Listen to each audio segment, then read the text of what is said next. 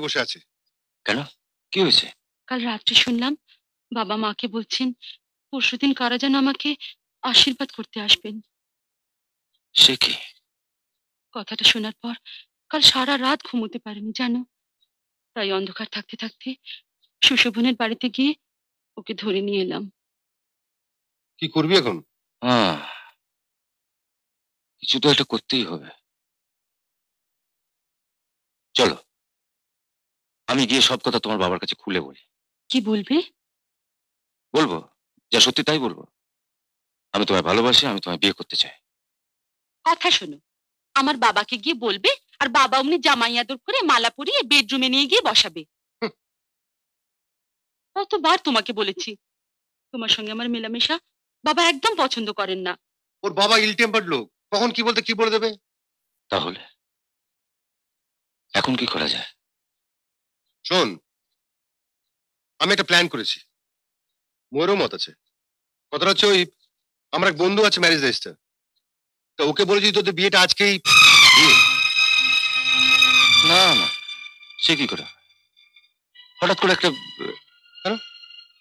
অসুবিধাটা কি আছে? অনেক অসুবিধা আছে। তোরা তো জানিস যে বাবার মত ছাড়া আমি কোনো কাজ করি না।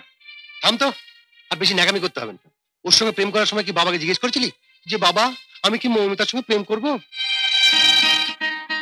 ওর কথা একবার ভাব।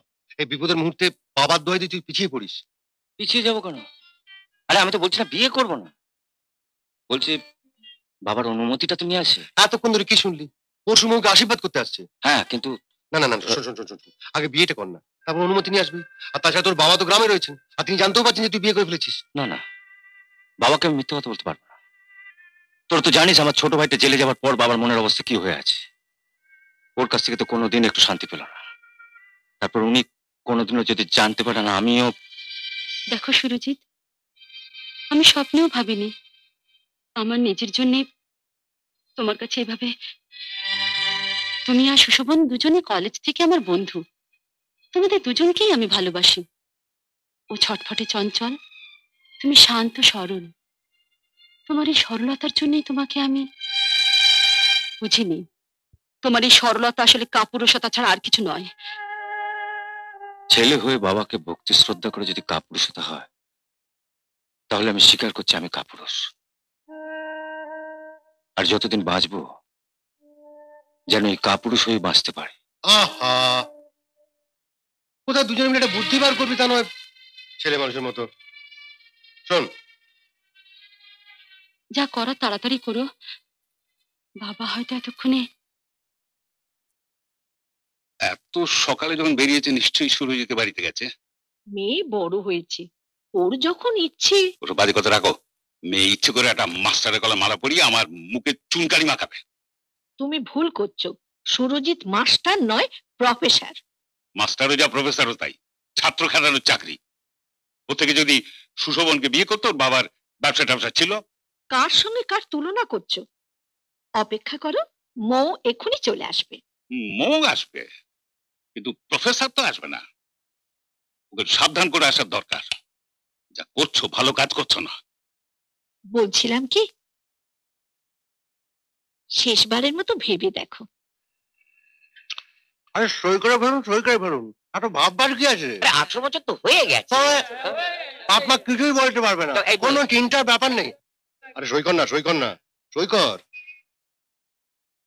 কিরে সই কর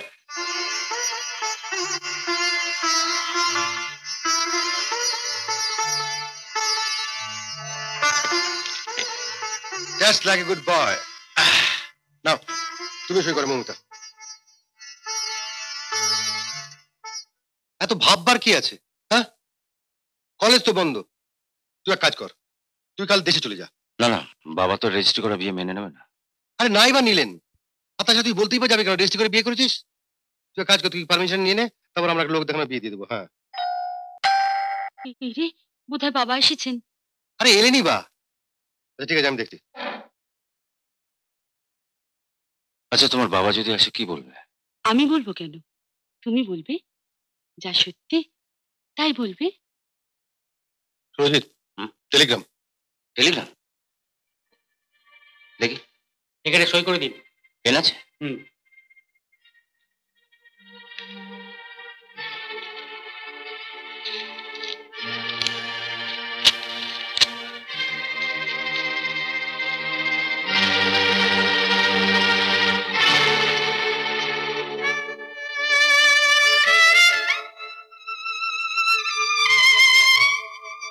টেলিগ্রাম বাবার শরীর খারাপ। ডাক্তার কাকু যেতে লিখেছে।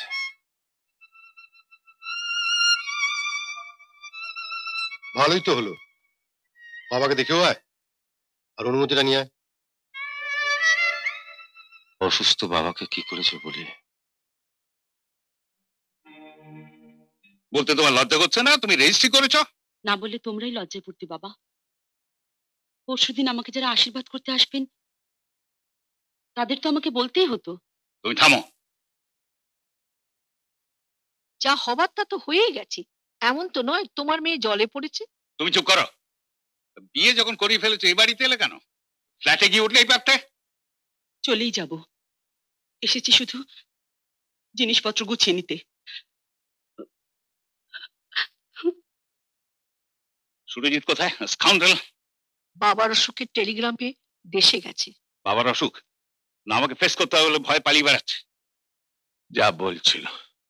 আমার বড় ছেলে সুরজিৎ হলো সাক্ষাৎ রামচন্দ্র। শ্রীরামচন্দ্র বাবার কথা রাখতে গিয়ে চোদ্দ বছর বনবাসে গিয়েছিলেন। আর সুরজিৎ আমার কথা রাখতে, আমারই পছন্দ করা মেয়েকে বিয়ে করতে পারবে না? কি ডাক্তার হ্যাঁ? সুরজিৎ বোধহয় এসেছে। হ্যাঁ সুরজিতের পায়ের শব্দ পেয়েছি। কোথায় সুরজি হ্যাঁ হ্যাঁ। আরে তাই তো? কাকু বাবা কেমন আছে? ভালো আছেন। থাক থাক থাক। আয় আয়। বাবা কেমন আছে বাবা? ভালো আছি রে। তুই কেমন আছিস? ভালো। আয় বুকে আয় বুকে আয়। সব জ্বালা জুড়িয়ে গেল। ডাক্তার তুমি না বলেছিলে আমার কথা বলা বারণ? আমার হার্টবিট নর্মাল নয় হ্যাঁ? এবার আমি এই সুরজিতের মাথাটা এই বুকে রাখলুম। তোমার যন্ত্রটা এই বুকে বসাও। তুমি যেন কিরম কিরম অংশ হয়ে যাচ্ছ। ভালো করে দেখো। হুম? আশ্চর্য? তবে আসল ব্যাপারটা কি জানো, ডাক্তার? সুরজিৎ ও শ্রদ্ধা ভক্তি দিয়ে আমার চারপাশে একটা গন্ডি কেটে রেখেছে। আর যমরাজ এসে ওই গন্ডির বাইরে থমকে দাঁড়িয়ে পড়ে। ভেতরে ঢোকার সাহস পায় না। আর সুরজিৎ আমার কাছে যদি থাকে তাহলে তার কথাই নেই। ওই যমরাজ একটু একটু করে পিছুতে পিছুতে পিছুতে পিছুতে। তুমি থামো তো। ও এতটা ট্রেন জার্নি করে এসেছে নিশ্চয়ই খুব ক্লান্ত। ওকে আসল কথাটা বলে ছেড়ে দাও ও গিয়ে খাওয়া দাওয়া করে বিশ্রাম করুক। রাত অনেক হলো। শোন সুরজিৎ আমি হঠাৎ করে তোর বিয়ে ঠিক করে ফেললাম।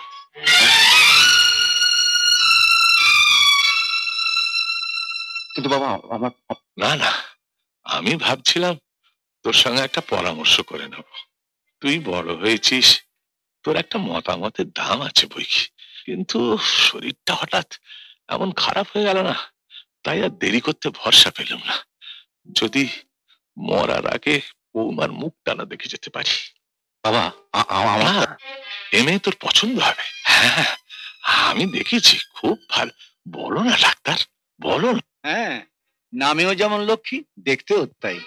চোখ ফেরানো যায় না। তোর মার দেশগ্রামের বন্ধু মনোরমা দেবী। তার পাঁচ বছরের মেয়ে লক্ষ্মীকে রেখে মারা গিয়েছিলেন। ওর মৃত্যু শয্যায় তোর মা কথা দিয়েছিলেন যে লক্ষ্মীর সঙ্গে তোর বিয়ে দেবে।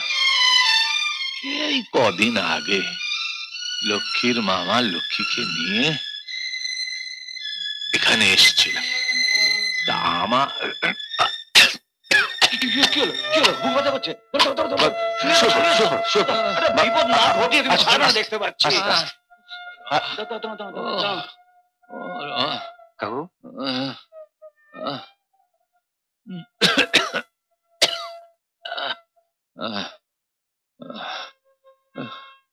নিজে একটু শান্তি পেতে তোকে আর কষ্ট দেব না তুই যা বাবা, যা।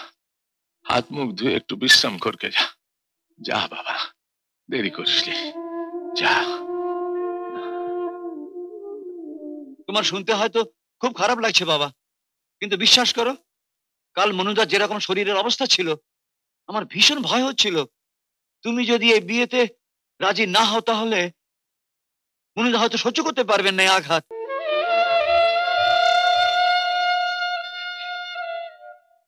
মনুদারও বেশি তোমার উপরে গভীর বিশ্বাস।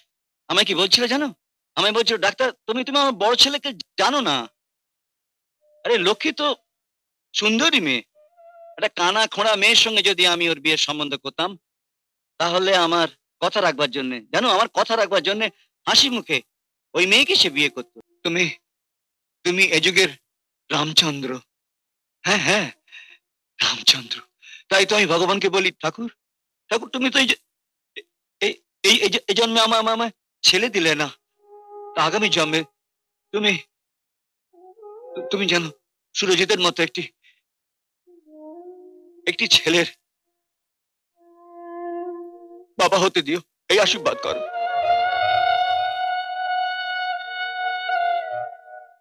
আমি চলি বাবা। কাল মনুদের অবস্থা ভালো ছিল না, জানো? আমি তো সারা ছিলাম তো। বিশ্রাম করতে পারিনি আমি যাই একটু খেয়ে দিয়ে বিশ্রাম করি গে। তুমি তো এসে গেছো আর কোনো ভাবনা নেই। আমি চলি হ্যাঁ? ডাক্তারবাবু ডাক্তারবাবু বাবু কেমন করছেন? শিগগিরই চলুন।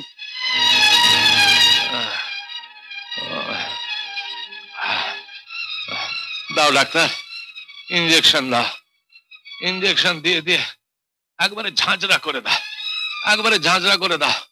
আমার কিচ্ছু কষ্ট হবে না। বাবা। যন্ত্রণা হবে না তুমি দাও। দাও। শুধু আমাকে মঙ্গলবার পর্যন্ত বাঁচিয়ে রেখে দাও। মঙ্গলবার পর্যন্ত আমি যেন আমার মা লক্ষ্মীকে ঘরে প্রতিষ্ঠা করে যেতে পারি। ঘরে প্রতিষ্ঠা করে। শুনেছি সুরজিতের বাবা গোড়া ব্রাহ্মণ। তিনি কি আমাদের মতো কায়স্তর ঘরে ছেলের বিয়ে দিতে রাজি হবেন? রাজি না হলে বই গেল।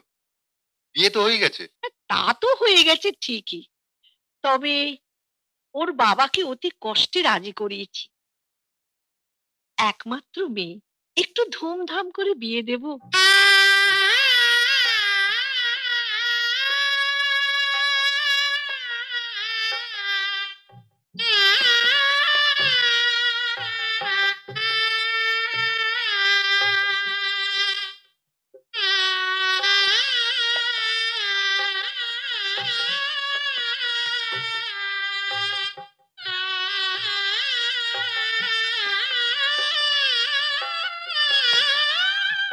বিয়ের পর থেকে আপনি আমার সঙ্গে একটাও কথা বলেননি আমাকে কি আপনার পছন্দ হয়নি?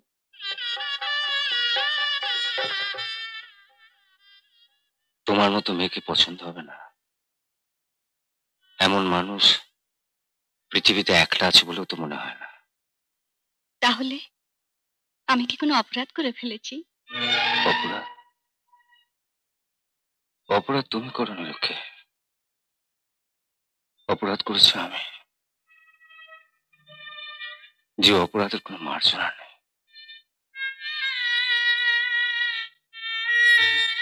তাই তো তাই তো আমি লজ্জায় তোমার কাছে আসতে পারছি না। তোমার সঙ্গে তোমার সঙ্গে কথা বলতে পারছি না।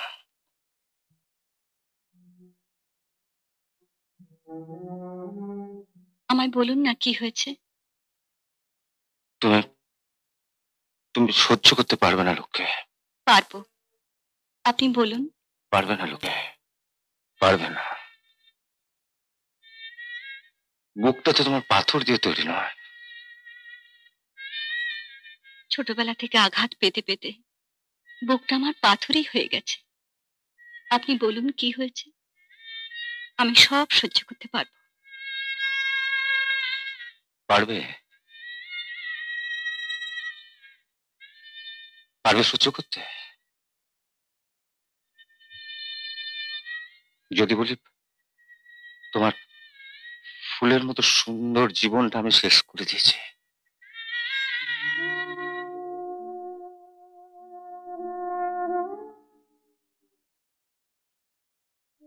বোধনের দিনে আমি তোমার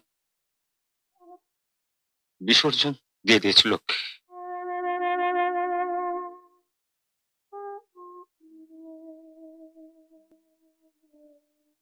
তোমাকে তোমাকে বি- বি- বিয়ে করার সাত দিন আগে আমি আরে আরেকটা বিয়ে করেছি।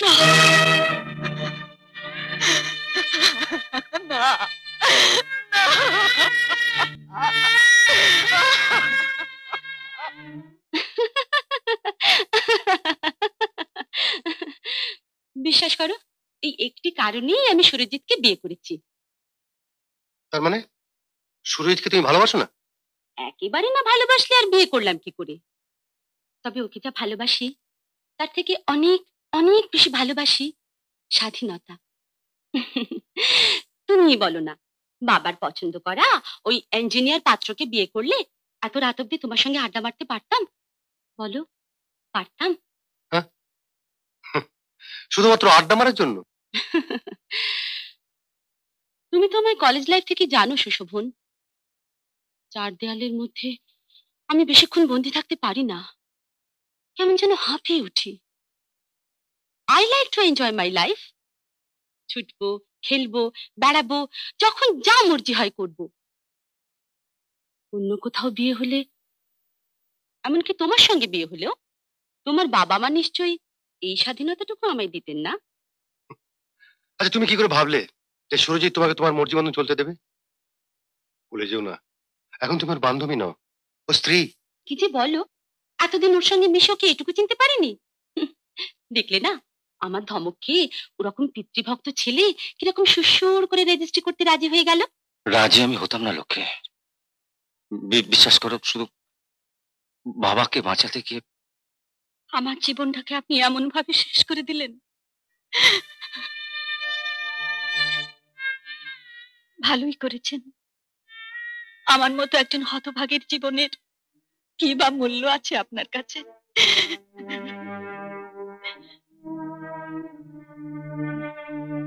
জন্মেই বাবাকে হারিয়েছি।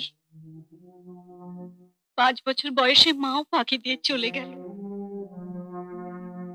চলে এলাম মামার বাড়িতে। ওইটুকু বয়স থেকে দুবেলা দুমুঠো খাবার জন্য জিয়ের মতো কেটেছি। আপনার বাবা যখন আপনার সঙ্গে আমার বিয়ে দিতে রাজি হলেন, তখন বারবার মনে হয়েছিল আমার মতো হতভাগীর কপালে এত সুখ সইবে তো।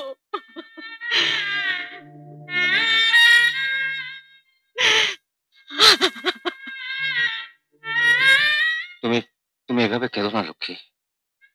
তোমার চোখের জলে আমার জীবনে অভিশাপ নেমে আসবে। বাবাকে তাহলে বাঁচাতে পারব লক্ষ্মী লক্ষ্মী আমি যখন তোমায় বিয়ে করেছি, তোমার সব দায়িত্ব আমার। আমি তোমায় কলকাতা নিয়ে যাব, বাড়ি ভাড়া করে দেবো, কাজের লোক রেখে দেবো।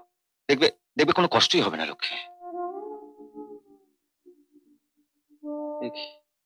হাসছো? আপনি আমার কষ্ট দূর করতে গিয়ে এমনই এক মন্দিরের সেবা দাসী হতে বলছেন, যে মন্দিরে কোনো দেবতা থাকবে না। আমি ঘর বাড়ি টাকা পয়সা দাস দাসী কিচ্ছু চাই না। শুধু শুধু আপনার পায়ে একটু আশ্রয় চাই। লোকে লক্ষ্মী ওঠো। লক্ষ্মী ওঠো। কিন্তু কিন্তু তোমাকে আমার ফ্ল্যাটে নিয়ে যায় কি করে? সেখানে আমি তো আপনার স্ত্রীর পরিচয় নিয়ে সেখানে যেতে চাইছি না। তবে? নতুন সংসার করেছেন। কাজের লোক তো একজন লাগবে। কলকাতা শুনেছি কাজের লোকের খুব অভাব। আপনার স্ত্রীকে গিয়ে বলবেন, আপনাদের গ্রামে এক হতভাগী আছে। ফুলশয্যার পর দিনই যার স্বামী তাকে ছেড়ে চলে গেছে।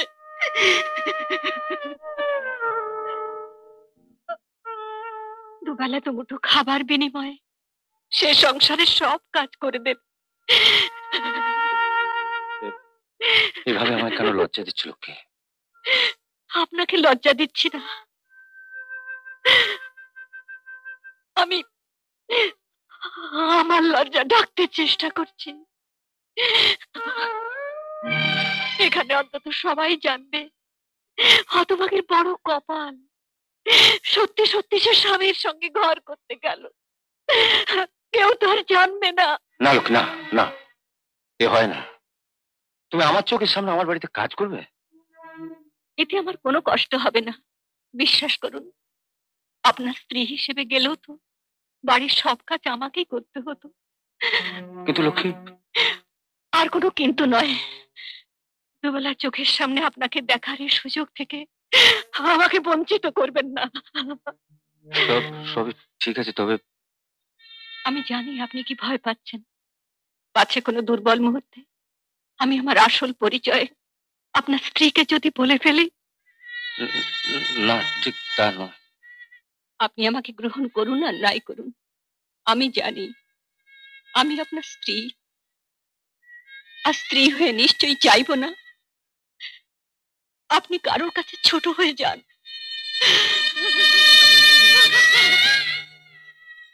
আমি আমার সিধু স্পর্শ করে বলছি।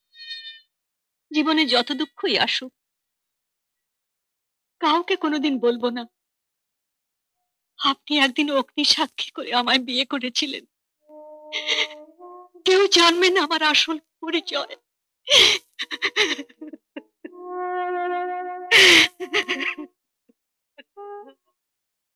না, খাওয়াতে তো হবে রেজিস্ট্রি বিয়ে হয়েছে বলে খাওয়া তো বন্ধ হতে পারে না। তা লরিতেই আসো আর ঠেলাতেই আসো লক্ষ্মী যখন ঘরে এসে গেছে। নিশ্চয়ই হবে। ও ফিরে আসুক। মেনুটা কিন্তু আমি তৈরি করব। কীরকম?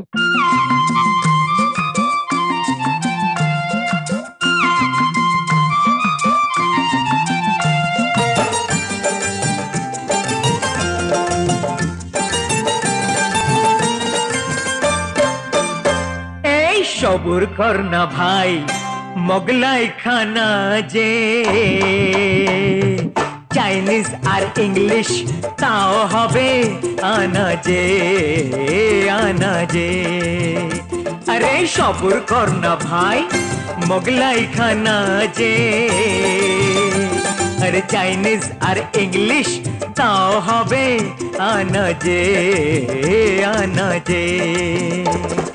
বাঙালিরই ভোজ তারও পাবে খোঁজ বাঙালিরই ভোজ। তারও পাবে খোঁজ। শুনে নাও শুনে নাও ভোজনের ফর্দ শুনেই ভোজন হবে অর্ধ সবুর কর না ভাই, মোগলাই খানা যে। চাইনিজ আর ইংলিশ, তাও হবে আনা যে।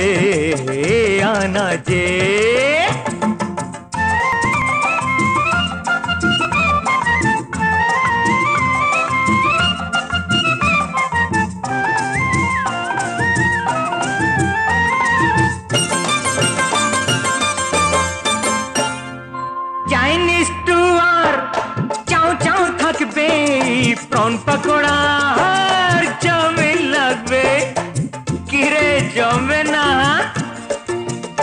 আরে চাইনিজ টু আর চাও চাও থাকবে প্রন পকোড়া আর চাউমিন লাগবে চিকেন তন্দুরি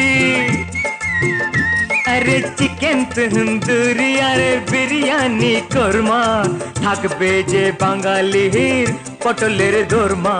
সবুর কর না ভাই, মোগলাই খানা যে। চাইনিজ আর ইংলিশ তাও হবে আনা যে।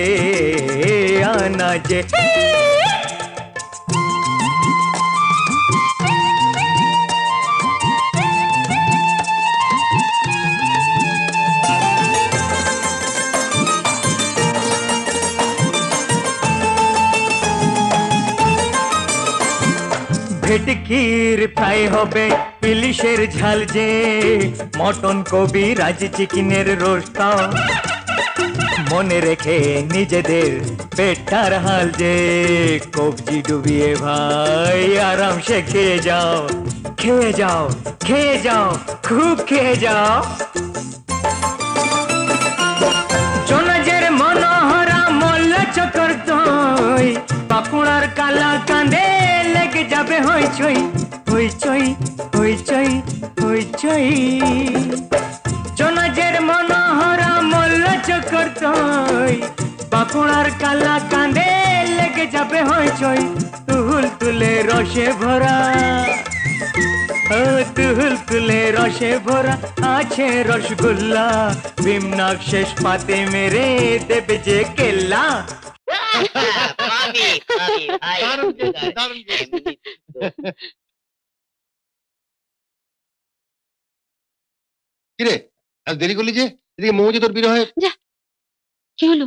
তোমার বাবা মত দিয়েছেন? তুই তো ভয় মরছিলি হ্যাঁ? যাকে তোর বাবার শরীর কিরম আছে? আপাতত ভালো। বাহ! এবার বিশ্রাম কর কাল সকালে এসে সব শুনব। চল দেবা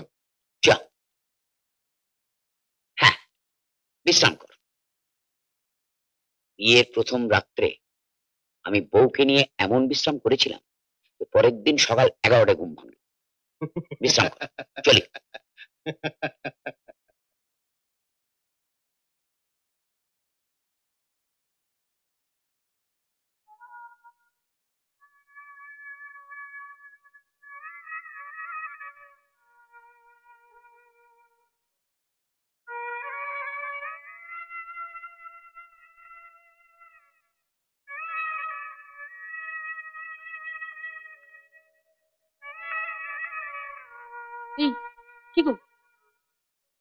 শুনছো। এসে অবধি দেখছি কীরকম ঘুম মেরে বসে আছো। একটার পর একটা সিগারেট খাচ্ছ। কি হয়েছে তোমার? কি এত ভাবছ বলো তো? কিছু না। না কিছু না। বলো না কি হয়েছে? বললাম তো কিছু কিছু হয়নি তো। এত রাত অব্দি জেগে বসে আছো কেন? হ্যাঁ এবার শোবো।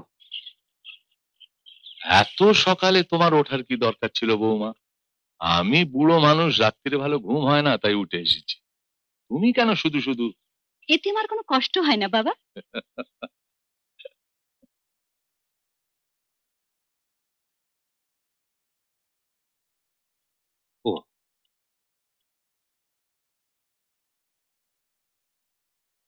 মু? হুম কি হলো? দেরি হয়ে যাচ্ছে চা করবে না? চা? আমি চা করতে হবে নাকি? বাহ! তুমি করবে না তো কে করবে? কেন? আমি আসার আগে তোমায় কে চা করে দিত? কে আবার করে দিত? আমি করতাম। তাহলে এখন ঘোড়া দেখে ঘোড়া হচ্ছে কেন? আমার কাঁচা ঘুমটা ভাঙিয়ে না দিয়ে নিজে করে নিলে তো পারতে।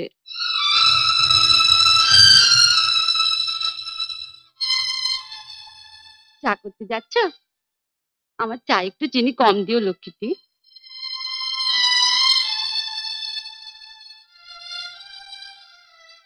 চা না হয় আমি করলাম।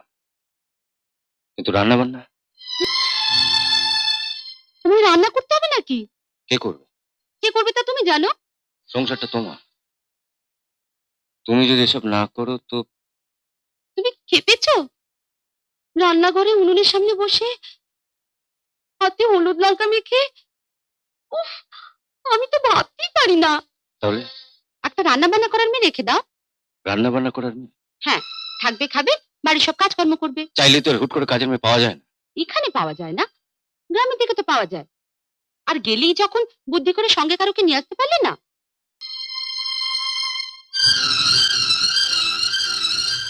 বৌদিমণি বৌদিমণি বড় দাদাবাবু এসছে।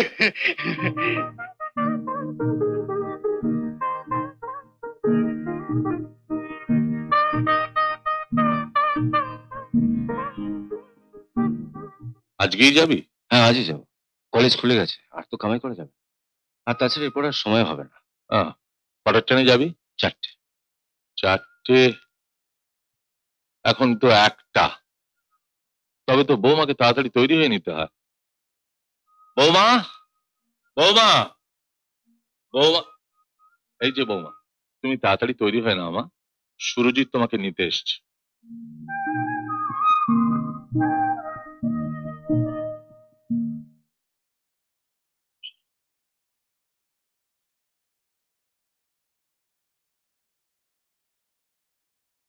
মনুদা মনুদা ও মনুদা।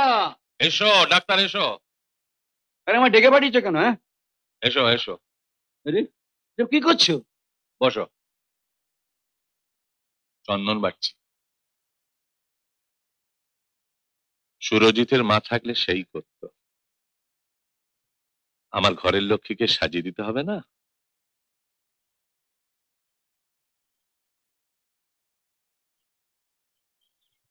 এই যে বৌমা এসো। এই নাও।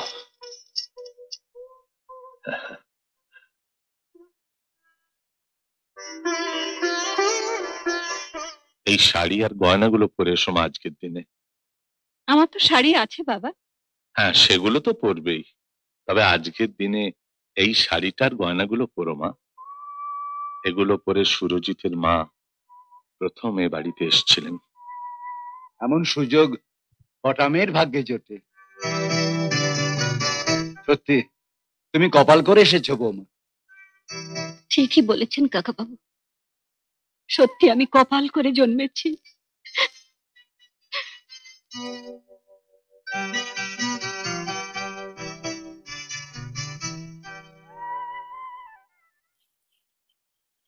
আমায় ডেকেছো কেন? ও তোমায় ডেকেছিলাম আহ, ডাক্তার। তোমার ড্রাইভারকে একটু বলে দিও। ওদের যেন গাড়ি করে স্টেশনে পৌঁছে দিয়ে আসে।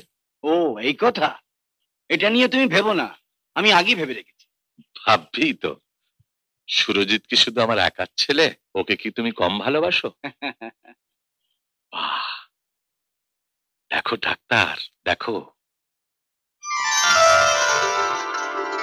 আমার মাকে কি সুন্দর মানিয়েছে। যেন সাক্ষাৎ মা লক্ষ্মী এসে আমার ঘরে দাঁড়িয়েছে।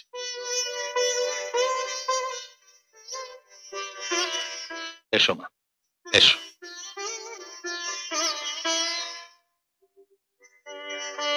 থাক থাক মা থাক সুখে থাকো। থাক থাক মা সুখে থাকো।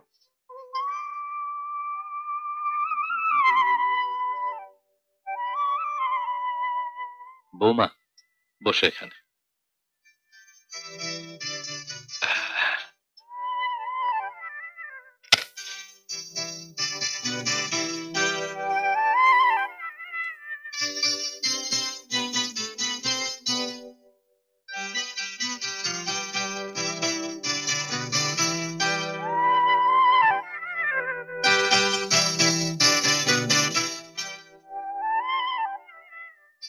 এ কি বৌমা? আজ শুভ দিনে তোমার চোখে জল কেন, মা? আজ তো কত আনন্দের দিন।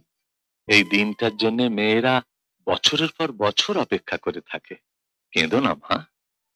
আজ তোমার পতিগৃহে যাত্রা।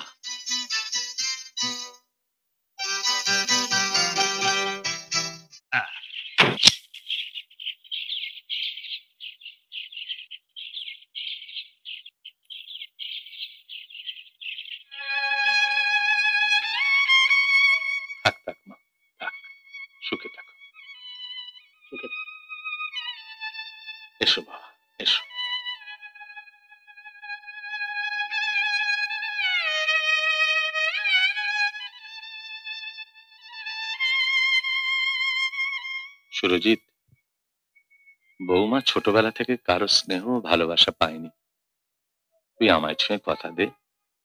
বৌমাকে কখনো কষ্ট দিবি না।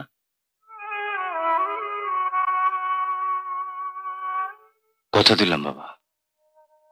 জ্ঞান তো আমি ওকে কোনো কষ্টই দেব না।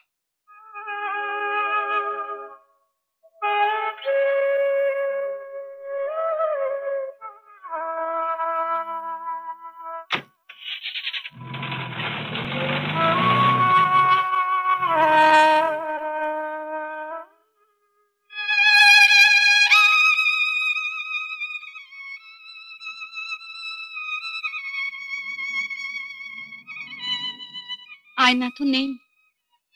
তাই দেখতে পাচ্ছি না। এই শাড়িটা দিয়ে চন্দনের টিপগুলো একটু মুছে দিন না। আমি মুছতাম। কিন্তু ভাগ্যকে আমার বিশ্বাস নেই। চন্দনের টিপ মুছতে গিয়ে যদি সিঁদুরটা মুছে যায়। এ কাজ আমাকে দিয়ে কেন করাতে চাইছো লোকে আমার দ্বারা সম্ভব না আপনার জীবন থেকে আমার অধিকারটা কেমন অক্লেশে মুছে দিতে পারলেন? আরে চন্দনের চিপগুলো মুছে দিতে পারবেন না? বুড়ো মানুষটা কত কষ্ট করে অসুস্থ শরীর নিয়ে নিজের হাতে চন্দন বেটে আমায় পরিয়ে দিলেন।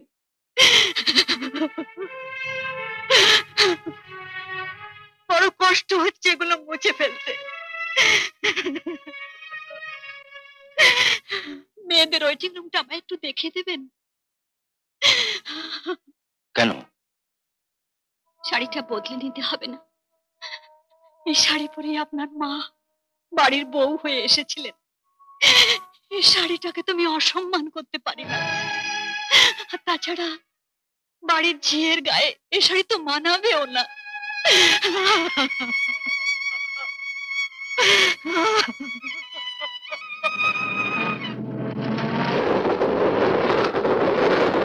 আচ্ছা তোমাদের মধ্যে কি কোনো ঝগড়া হয়েছিল?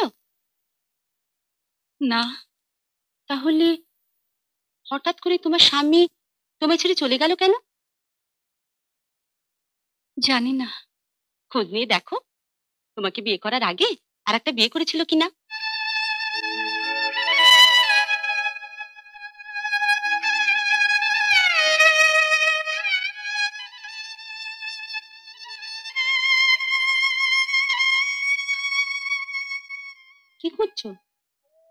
সিঁদুরের কৌটোটা কোথায় রেখেছেন? সিঁদুর আমি পরি না। সে কি? না না। সিঁদুর পরবেন না কেন? আমি আপনাকে পরিয়ে দেব। দাঁড়ান আমার সিঁদুরের কৌটোটা নিয়ে আসছি। না সিঁদুর তো পরবই না। তার উপর তোমার কৌটো সিঁদুর। যা পরে তুমি তোমার স্বামীকে হারিয়েছো। দোষটা সিঁদুরের নয় দিদি। দোষটা আমার কপালের। দোষ চারি হোক। সিঁদুর আমি পরবো না। ওসব সিঁদুর শাখা পরা ব্যাকডেটেড হয়ে গেছে। হিন্দু ঘরের সদবা আপনি? সিঁদুর পরবেন না। কেন? সিঁদুর না পরলে কি হয়? সংসারের অমঙ্গল হয়। অমঙ্গল হয়? তুমি তো এত বড় একটা সিঁদুরের টিপ করেছ তোমার কি মঙ্গল হয়েছে শুনি? বিয়ের পর দিনই তো স্বামী ছেড়ে পালিয়েছে। আর এখন? দুবেলা দুমুঠো খাবার জন্য তোমাকে পরের বাড়িতে কাজ করতে হচ্ছে।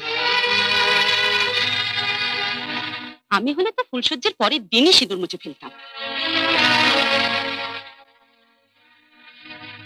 আমার কথা শুনো। তোমার বয়স কম, চেহারাও ভালো। যাও, গিয়ে সিঁদুরটা মুছে ফেলো। কারও নজরে পড়লে তোমার ভাগ্যটা ফিরে যেতেও পারে। সারা কপাল জুড়ে ওই আগুনের গোলার মতন সিঁদুর টিপ থাকলে ইচ্ছে হলেও কেউ কাছে আসবে না। যাকে কাছে চাইলাম, তাকেই যখন পেলাম না, তখন কাউকে আমার দরকার নেই দিদি।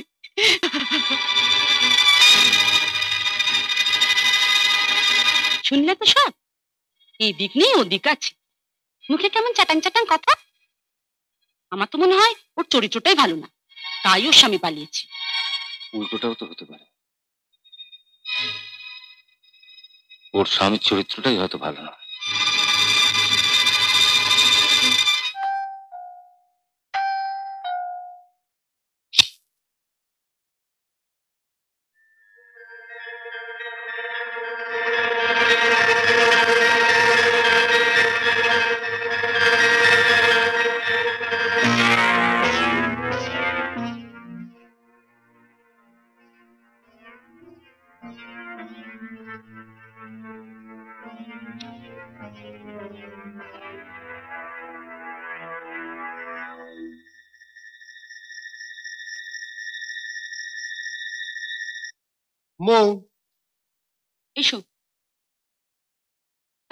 এত কেন? কত লোককে নেমন্তন্ন করতে হবে জানো না? আরে আগে জানলে তো ভোরবেলা চলে আসতাম। কেন? তোমায় তো কাল বললাম রবিবারে আমাদের বিয়ের পার্টি দেব আজ সবাইকে নেমন্তন্ন করতে বেরোবো। আহা তা তো বলেছ।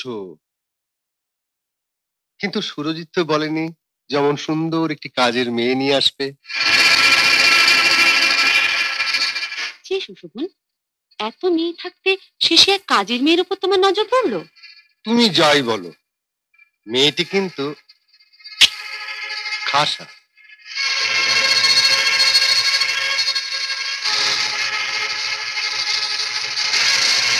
চল না সুরজিৎ মৌ বলছিল হনিমুনে যাবে। ঘুরে আসা যাক। আমি না হয় মেয়েটিকে পার্টনার করে নিয়ে যাব। ডোন্ট বি এসব আমি পছন্দ করি না। ও না হয় একটু ঠাট্টাই করেছে। তাতে তোমার এত চটে ওঠার কি আছে?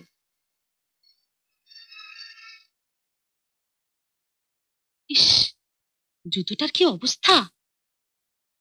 লক্ষ্মী লক্ষ্মী! ওকে ডাকছো কেন? জুতোটা একটু মুছে দেবে।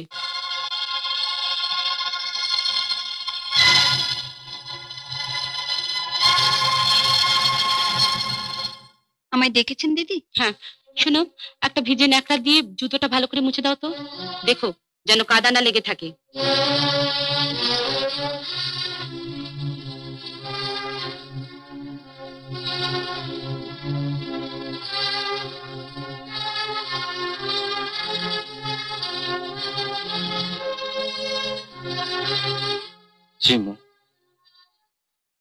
ভদ্র মেয়ে।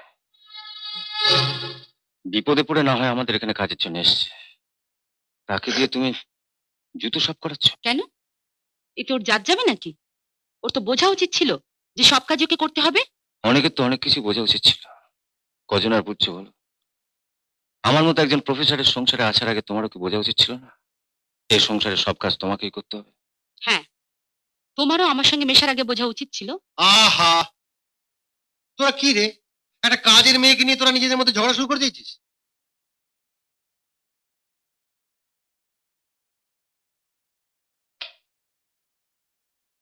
আপনি শুধু শুধু দিদির ওপর রাগ করছেন। উনি দয়া করে আমাকে এখানে থাকতে না দিলে কোথায় যেতাম বলুন? আপনি কোনো সংকোচ করবেন না, দিদি। এখানে থাকা খাওয়ার বিনিময়ে আপনি আমাকে যা করতে বলবেন, আমি তাই করব। আমার চেয়ে আর কোথাও যাবার জায়গা নেই।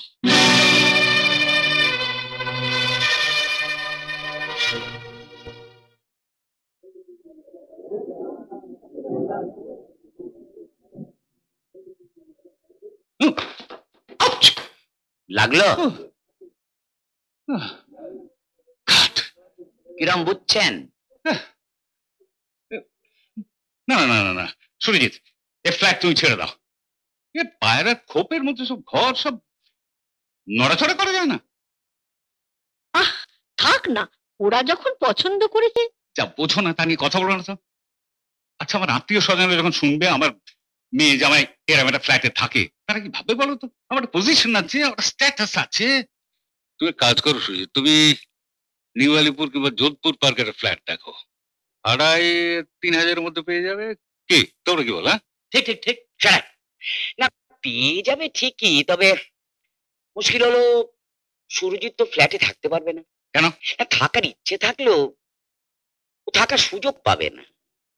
কারণ বছর পর বছর ওকে জেলেই কাটাতে হবে। জেলে কাটাতে হবে? ওয়াই না মানে ও যা মাইনে পায় তাতে বাড়ি ভাড়া দিতে পারবে না। ওই ব্যাংক ডাকাতি বাকাতি কিছু করতে হবে আর কি। আর পাস্ট এক্সপিরিয়েন্স যখন নেই সুতরাং জেল অবশ্যম্ভাবী। ননসেন্স জল। জল লক্ষ্মী এক গ্লাস জল নিয়ে এসো তো। হয় না হয় না অ্যাম্বিশন অ্যাম্বিশন না থাকলে কেউ বড় হতে পারে না। নিশ্চয়ই নিশ্চয়ই। দেখুন না কূপের ব্যাং একবার পদ্মশ্রী পাওয়ার জন্য সাগরে ঝাঁপ দিল ডুবে গেল।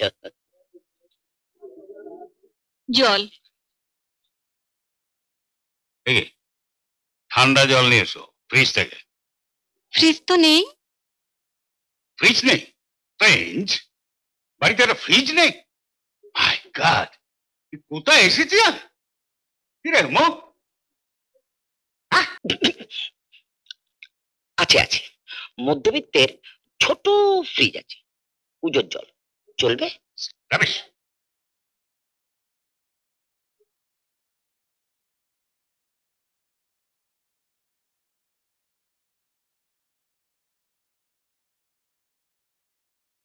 কি ব্যাপার? বাবার কথা শুনে খুব রাগ হয়েছে না?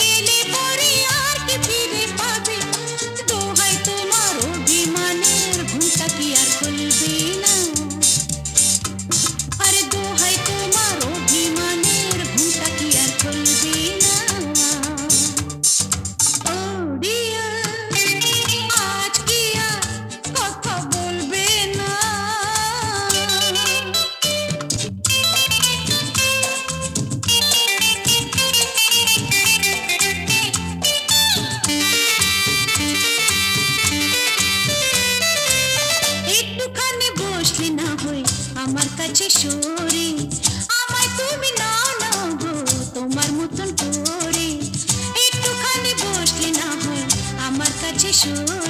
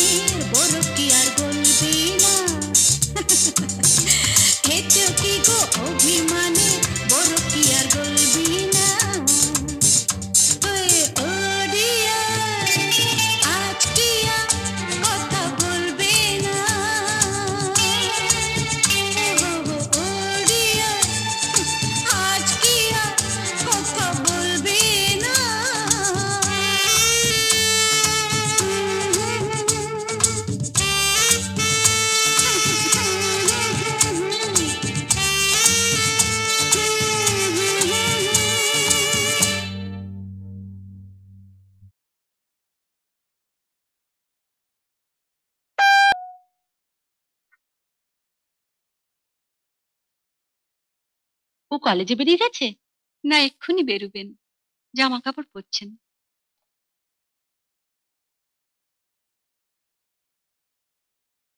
কার চিঠি? তোমার বাবার। বাবার? হুম। কি লিখেছেন?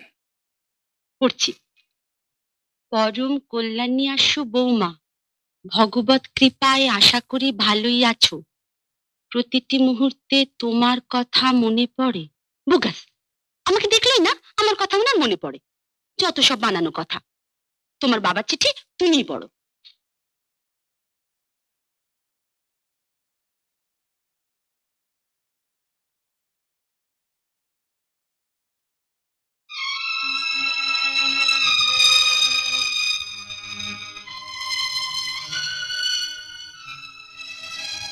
লক্ষ্মী, কি ব্যাপার?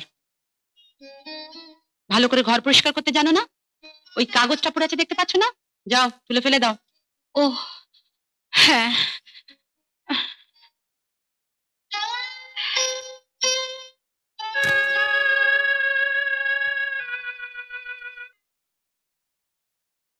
দেখি মো। এখানে পাঁচ হাজার টাকা রেখেছিলাম তুমি নিয়েছো? হ্যাঁ। বলবে তো কোথায় রেখেছো? সে টাকা কি আর আছে নাকি? খরচ হয়ে গেছে। খরচ হয়ে গেছে। কি বলছো কি? কলেজ ইউনিয়নের টাকা পরশু কলেজের ফাংশন আজ সব পেমেন্ট করতে হবে? তা আমি কি করে জানব বলো? আলমারিতে টাকাটা দেখলাম ভাবলাম টাকাটা বুঝি তোমার। ভাবলে না অতগুলো টাকা আমি একসঙ্গে কোথায় পেলাম? খরচ করার আগে একবার জিজ্ঞেস করবে তো। টাকাগুলো কিসে খরচ করলে? সকালবেলা বাবার কাছে গিয়ে একটা ফ্রিজ কেনার জন্য দিয়ে এসেছি। ফ্রিজ কেনার জন্য?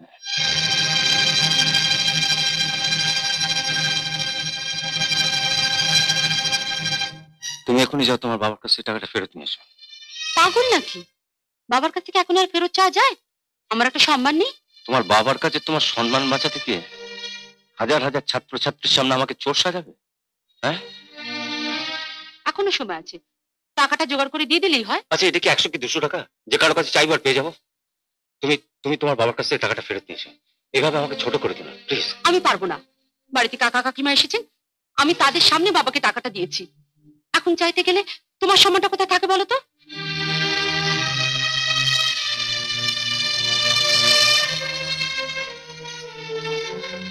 খেয়ে যাবেন না।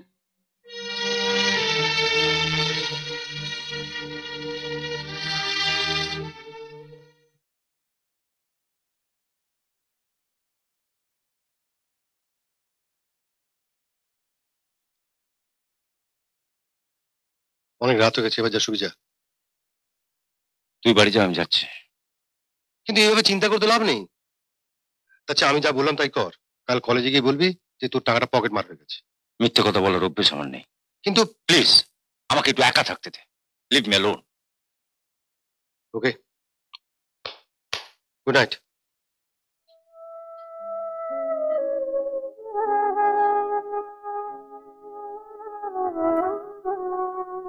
শুনুন।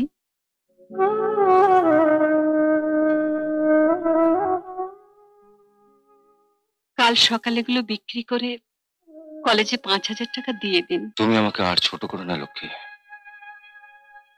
ওগুলো আমি নিতে পারব না। এগুলো তো আপনাদেরই। আমার কাছে রেখেছিলাম শুধু। মোটেই আমার নয়। বাবা ওগুলো তোমাকে দিয়েছেন।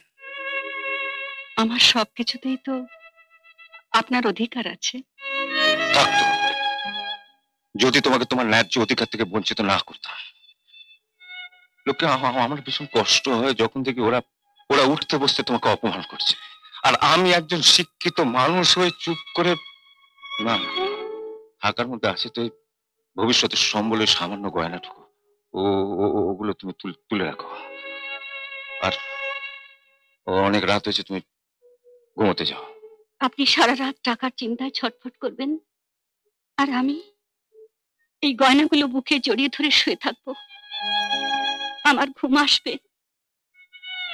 এগুলো সাপের মতো আমার সারা অঙ্গের ছবল মারবে না।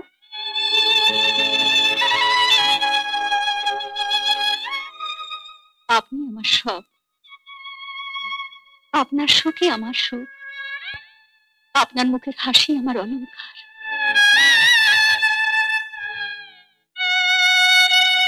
আপনি যদি আজ আমাকে ফিরিয়ে দেন কাল সকালে আমি এখান থেকে চলে যাব।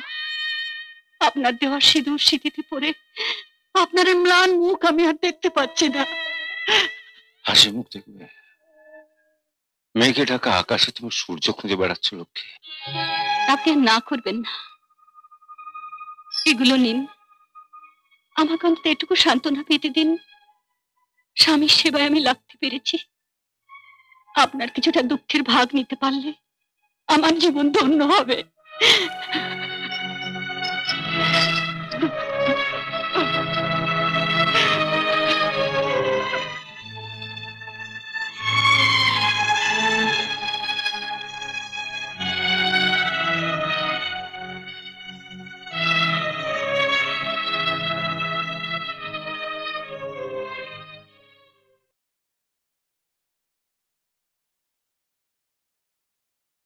শ্রীচরণেশু বাবা আপনার চিঠি পেয়েছি। আপনার আশীর্বাদে আমরা ভালোই আছি। আমি কোনোদিন স্বপ্নেও ভাবিনি এত সুখ আমার কপালে আছে। আপনি ঠিকই লিখেছেন আপনার ছেলের মতো স্বামী পাওয়া যে কোনো মেয়েরই ভাগ্যের ব্যাপার। উনি মানুষ নন দেবতা।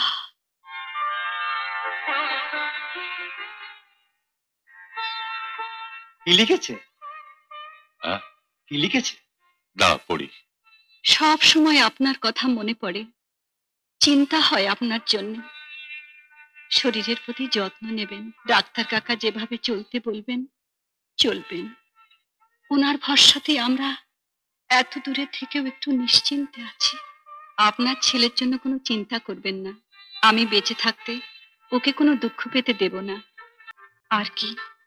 আপনিও ডাক্তার কাকা আমার প্রণাম নেবেন। ইতি আপনার স্নেহধন্যা। বৌমা। ডাক্তার আমার বৌমা তোমারও খুব ভক্ত হয়ে উঠেছে। কীরকম? কি লিখেছে জানো? তোমার ভরসাতে নাকি আমাকে এখানে রেখে গেছে। ও শুধু তোমার বৌমা নয় আমারও বৌমা। নিশ্চয়ই নিশ্চয়ই। না না দেবো না। এক শর্তে দিতে পারি।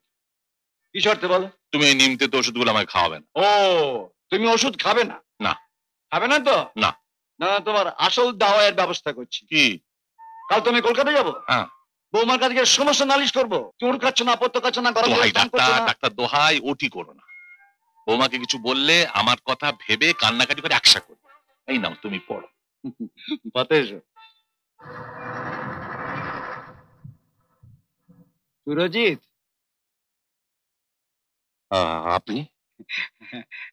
আমি তোমায় সারা কলেজ খুঁজে বেড়াচ্ছি। একজন প্রফেসর বললে, তুমি এখানেই আছো। বসুন।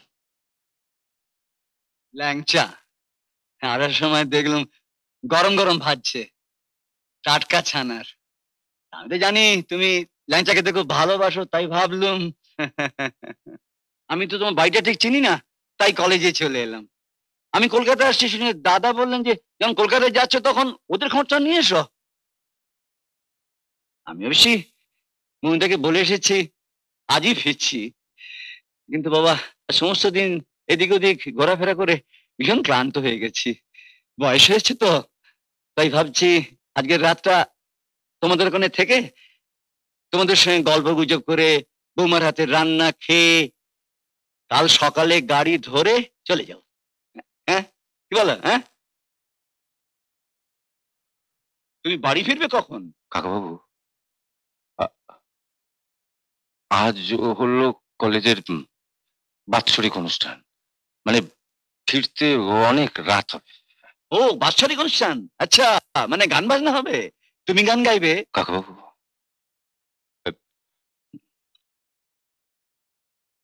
আপনাকে একটা কথা বলতে আমার খুব খারাপ লাগছে। মানে আপনাকে আমার বাড়ি বাড়ি নিয়ে যেতে একটু অসুবিধা আছে। কি বললে? আমাকে তোমার বাড়িতে নিয়ে যেতে অসুবিধে আছে? ও।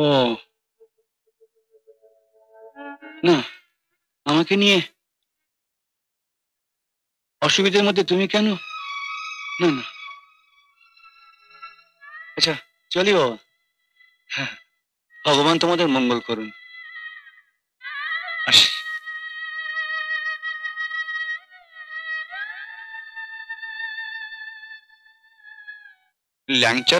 তোমার নিশ্চয়ই আপত্তি নেই? না না, তোমার যদি কোনো আপত্তি থাকে তাহলে নিও না। কোথাও কোথাও রাস্তায় ডাস্টবিনে ফেলে দিও। কাল থেকে আমি আর ঠাকুরের কাছে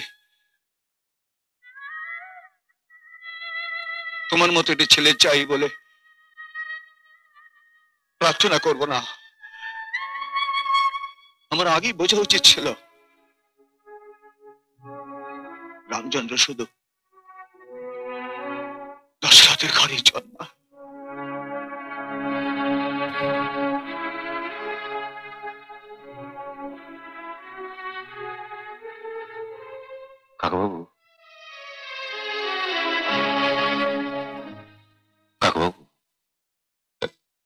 বলছিলাম কি, যা ঘটলো তা বাবাকে জানাবেন না।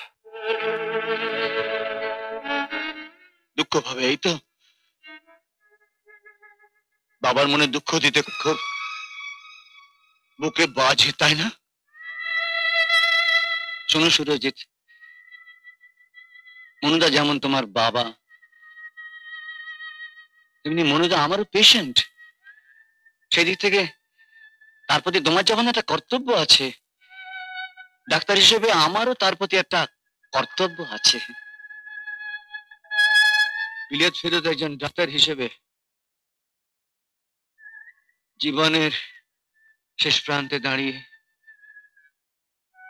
তোমার মতো একজন প্রফেসরের কাছে নিশ্চয়ই আমায় শিখতে হবে না। কাকে, কখন, কীভাবে কথা বলতে হবে?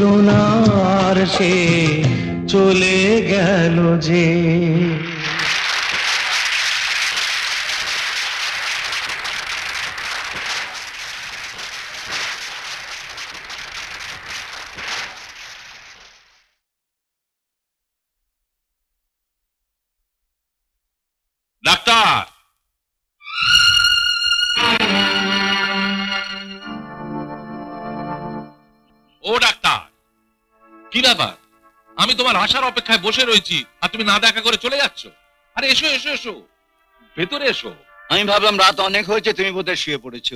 তাই বারান্দার দিকে আর তাকাইনি। বাহ তুমি বললে কলকাতা যাচ্ছি আজকেই ফিরবে। আর আমি ছেলে বউয়ের খবর না নিয়ে শুয়ে পড়ব? হ্যাঁ? তুমি ভাবলে কি করে? তোমার আসার পথে আমি হাঁ করে বসে রয়েছি। কখন গাড়ির শব্দ হয় আমি শুনছি। বসো বসো বসো বসো বসো বসো। আমি একবারে কান খাড়া করে রয়েছি। হ্যাঁ হ্যাঁ, বলো। ছেলে বউয়ের সঙ্গে দেখা হলো?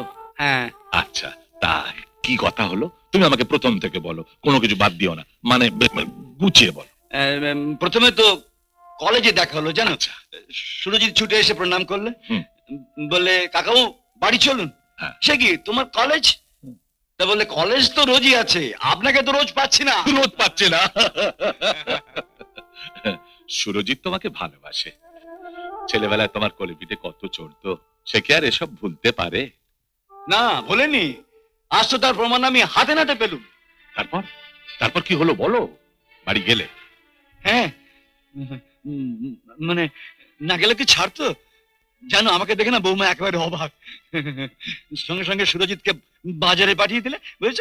বাজারে পাঠিয়ে দিলে আম- আম- আমাকে বললে যে কাকা বাবু আপনাকে কিন্তু আজ রাতটা এখানে থেকে যেতে হবে। কেমন খাওয়ালে বলো।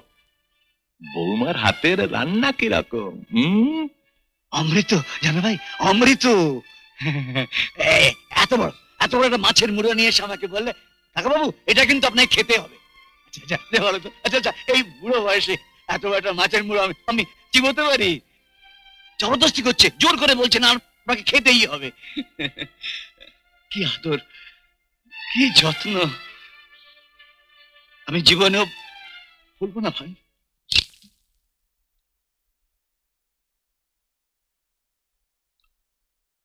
হ্যালো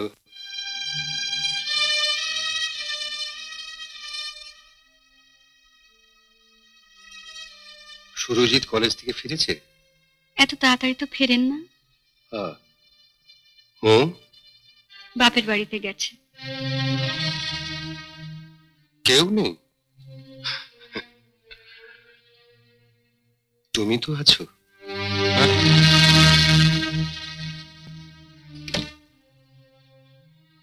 এক কাপ চা করে দাও তো। বেশ। কড়া করে। হ্যাঁ।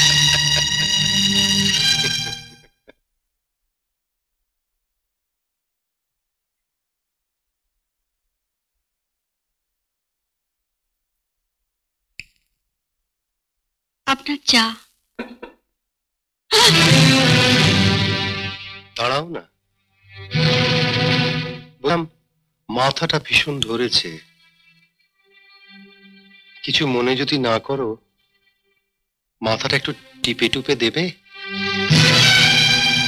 না না, এমনিতে আমি খাটাবো না। কাউকে আমি এমনিতে খাটাই না। এর জন্য তুমি পারিশ্রমিক পাবে। শাড়িটা ছাড়ুন আসছি। That's like a good girl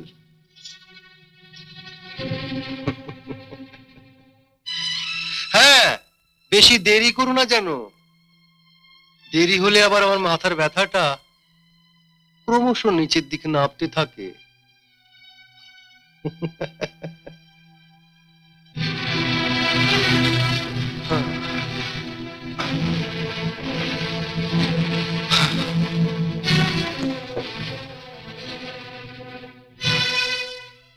tablet দুটো রেখে গেলাম। জলও রইল। খেয়ে নেবেন মাথা ধরা কমে যাবে। তুমি বলছো? আর হ্যাঁ আমাকে কোনো পারিশ্রমিক দিতে হবে না। যাবার সময় একটা টাকা টেবিলের উপর রেখে যাবেন। ট্যাবলেটের দাম।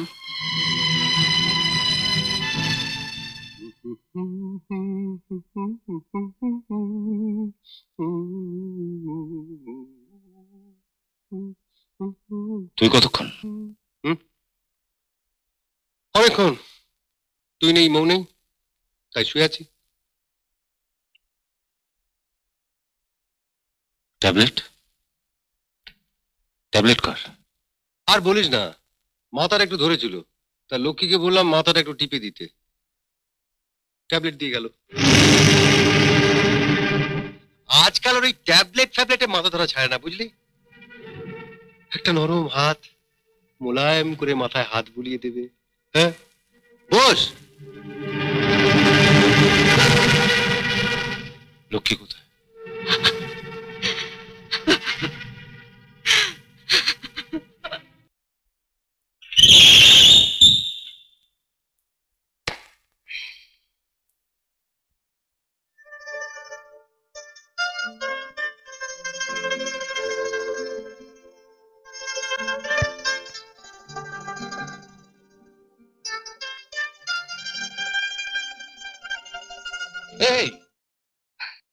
কে আরে তুই? কেমন আছো বাবা? ভালো আছি। কি ব্যাপার? তোর তো আরও তিন মাস জেল খাটবার কথা। এত তাড়াতাড়ি ছাড়া পেলি? হ্যাঁ good boy good conduct everything good তাই ওরা তাই ওরা তিন মাস আগেই ছেড়ে দিয়েছে। Good boy good conduct everything good তাই ওরা তাড়াতাড়ি ছেড়ে দিয়েছে। আমার তো সব সর্বনাশ হলো। কেন? আরও তিন মাস শান্তিতে থাকতে পারতাম এই আর কি। বলো তো পেটও ছেড়ে আবার ঢুকে যায় ইয়ার কি মারতে হবে না। যাও চান করে খেয়ে নিয়ে যাও। ও হ্যাঁ জেলে বসে দাদার বিয়ের চিঠি পেয়েছি। আসব বলে বাবা সব ঠিক কিন্তু জেলা সালা হুম ওদি কোথায়? ঘরে? আরাম যাও আরাম জাদা কেন? আজকাল দাদা থাকবে কলকাতা আর বৌদি এখানে থাকবে। তা তো বটে। ঠিক আছে ঠিক আছে কালকে সকালে একেবারে ফার্স্ট ট্রেন ধরে কলকাতায় চলে যাব। আর তাছাড়া কালকে রোববার। দাদার কলেজ ছুটি? ফার্স্ট টাইম ধরে যাবে? হ্যাঁ। দেখি। এই লাগছে? আহ, লাগুক। হ্যাঁ। শোনো ওই ফার্স্ট ট্রেনই ধরো আর লাস্ট ট্রেনই ধরো। আমার সঙ্গে দেখা করে যাবে। কিছু জিনিসপত্র দিয়ে দেবো গিয়ে বৌদিকে দেবে। ওকে ফাদার যাও। জাগ্রত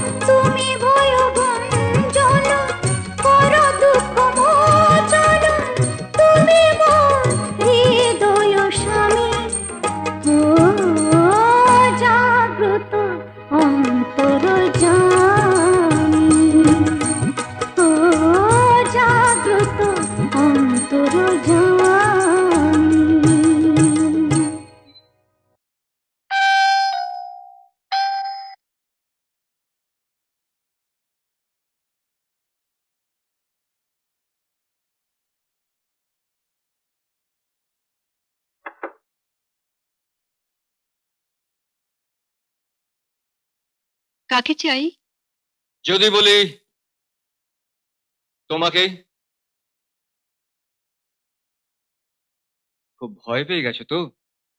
আরে ভয় নেই। আমি তোমার খুব আপনজন। তোমার কর্তার নাম সুরজিৎ আর এই অধমের নাম অরিজিৎ। তোমার একমাত্র ঠাকুরপো।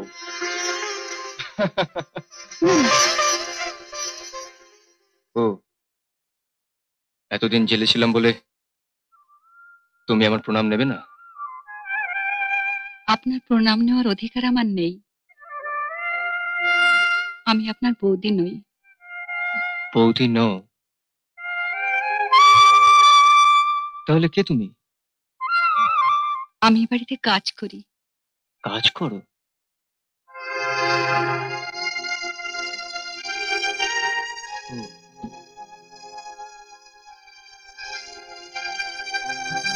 কি আশ্চর্য।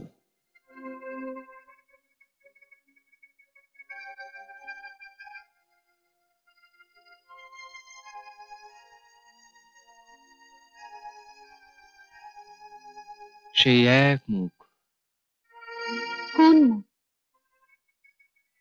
জেল থেকে ছাড়া পাওয়ার আগের দিন রাত্রে স্বপ্ন দেখলাম। দাদার বিয়ে হচ্ছে। সেই স্বপ্ন দেখার বৌদির সঙ্গে তোমার চেহারার কি আশ্চর্য মেয়ে সেই চোখ সেই নাক। ঠিক আছে। বৌদি না হও দিদি তো হতে পারো। আর দিদিকে তো ছোট ভাই প্রণাম করতেই পারে।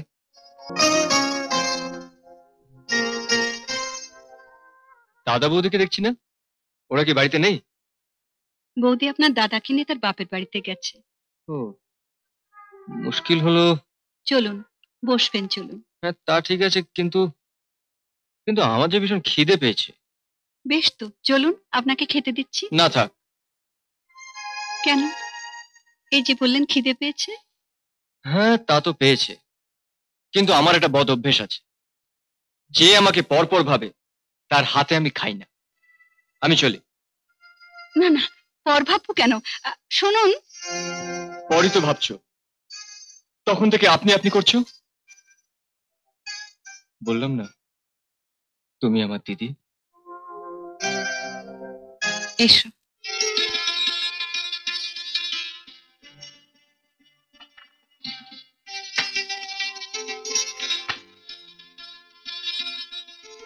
একটা কাজ করো না দিদি। তুমিও খেয়ে নাও। তুমি খাও আমি খাচ্ছি। না আমি একা খাব তুমি দাঁড়িয়ে থাকবে। যাও না নিয়ে এসো না। ঠিক আছে তুমি খাও না আমি পরে খাব। না তুমি না খেলে আমিও খাব না। কি হলো? যাও।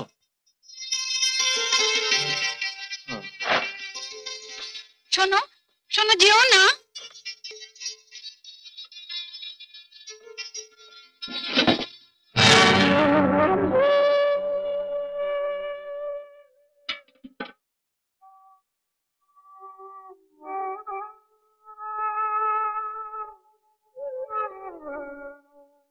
কি হলো? খেলে না? তুমি মিছে মিছে আমার জন্য চিন্তা করছ। মেয়েদের একদিন না খেলে কিচ্ছু হয় না। আমারও কিছু হয় না। যখন জেলে ছিলাম মাঝে মাঝে এমন খাবার দিত ও বহুদিন না খেয়ে থেকেছি। লক্ষ্মী ভাইটি আমার কথা শোনো খেয়ে নাও। খেতে পারি? যদি তুমি আমার সঙ্গে বসে ভাগাভাগি করে খাও। বেশ তো এসো। এই তো আমার দিদির মতন কথা।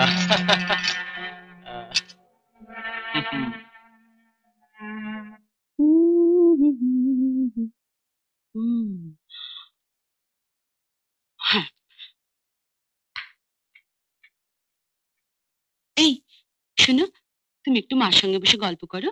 আমি সুশোভনকে নিয়ে নিমাকে ঘুরে আসি, হুম? এসো সুশোভন। হ্যাঁ আসছি।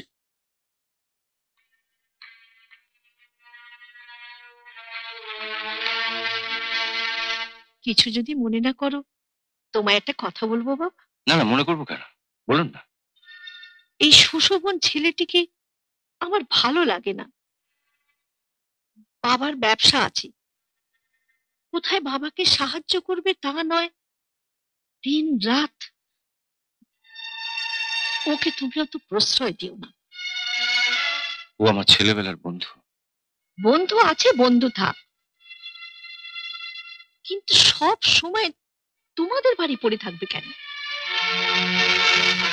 তোমাদের দুজনের চরিত্র একেবারে আলাদা। ও যা স্বাধীন চেতা মেয়ে, তোমাকে ভালো মানুষ পেয়ে যন্ত্রণা না দেয়।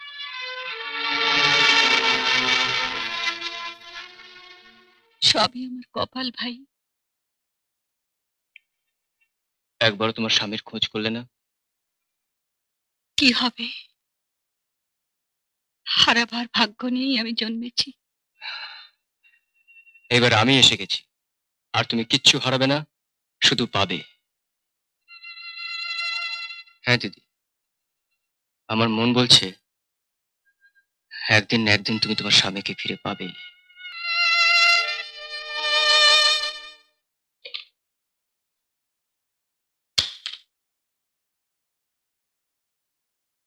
ধরো। এই শাড়ি দুটো ধরো। এগুলো কার শাড়ি? বৌদির। বাবা মেলা থেকে কিনে তার বৌমার জন্য কিনে পাঠিয়েছেন। তোমার বৌদির শাড়ি? আমি নেব কেন? আরে থামো তো। বৌদি তো আর জানতে যাচ্ছে না যে বাবা কটা শাড়ি পাঠিয়েছেন। না ভাই এ হয় না। হ্যাঁ খুব হয়। তাছাড়া বাবা যদি জানতেন যে বাড়িতে তোমার মতন একটা মিষ্টি দিদি আছে তাহলে তোমার জন্য একটা শাড়ি পাঠাতেন। নাও নাও ধরো। ধরো। কিন্তু ওই তোমার দাদা বৌদি এলেন ধরো আমি দরজাটা খুলে দিচ্ছি। তুমি ততক্ষণ এই শাড়ি দুটোকে লুকিয়ে রাখো। আমি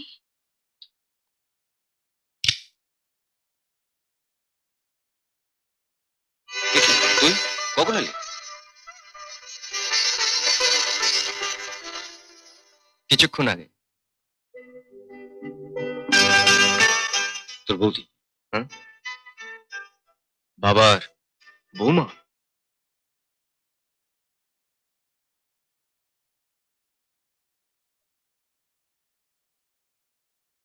জেল থেকে কবে ছাড়া পেলে? কাল। এবার থেকে একটু ভদ্রভাবে থেকো বুঝলে? বাবা দাদার মুখে আর চুনকালি মাখিও না। দাদা তো অলরেডি চুনকালি মেখে বসেই আছে। আমি আর নতুন করে কি মাখাবো? এ কথার মানে? স্বামী তো প্রফেসর। মানেটা এক ফাঁকে ওর কাছ থেকে জিজ্ঞেস করে নিও। অরিজিৎ।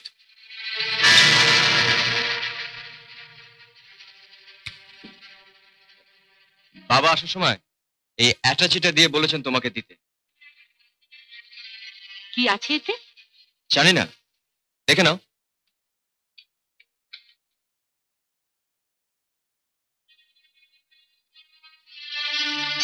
এই শাড়ি? আচ্ছা তোমার বাবা কি আমাকে ভিকিরির মেয়েটি মনে করেন? কোন লজ্জায় উনি আমাকে এই শাড়ি পাঠান? আমাদের বাড়ির কাজের লোকেরাও এর থেকে দামি শাড়ি পরে।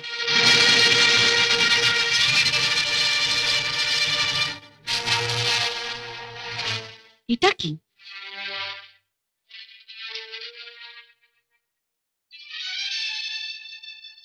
পরম কল্যাণী আসু বৌমা চারখানি শাড়ি পাঠালাম। আমি নিজের হাতে তোমার জন্য মেলা হইতে কিনে আনিয়াছি। আশা করি পছন্দ হইবে। ইতি তোমার বাবা। লায়ার, মিথ্যেবাদী, দুখানা শাড়ি পাঠিয়ে লিখেছে, চারখানা শাড়ি পাঠালাম।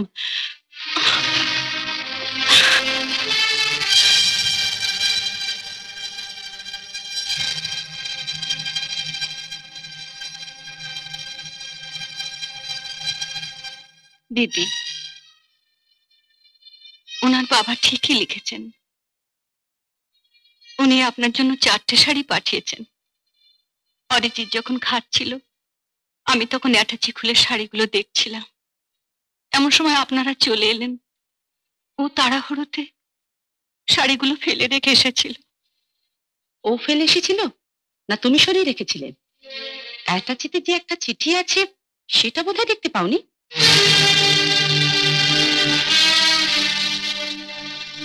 শাড়িগুলো চুরি না করলেও পারতে।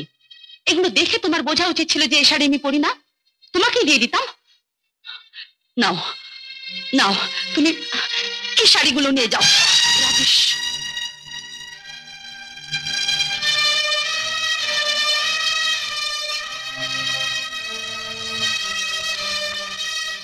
বৌদি, আমার সামনে বাবাকে এইভাবে অপমানটা না করলে কি হতো না? আমি তো কালকেই চলে যেতাম।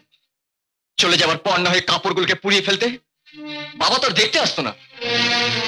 আমি রেখে রেখে কথা বলতে পারি না। আমিও পারি না। শোন দাদা রোজ সকালে উঠে পিতা স্বর্গ পিতা ধর্ম বলে চিৎকার করে গলা ফাটালে বাবাকে ভক্তি শ্রদ্ধা করা হয়। না তাকে কে অপমান করলে প্রতিবাদ করতে হয়? তার বিরুদ্ধে রুখে দাঁড়াতে হয়। সে যেই হোক।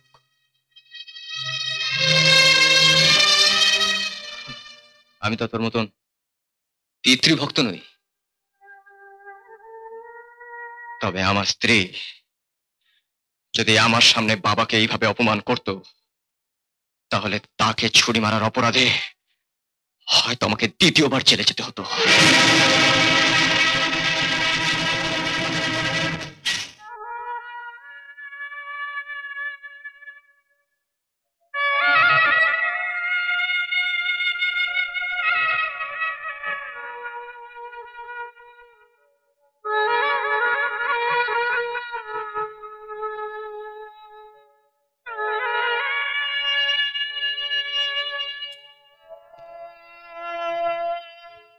অরিজিৎ দিদি,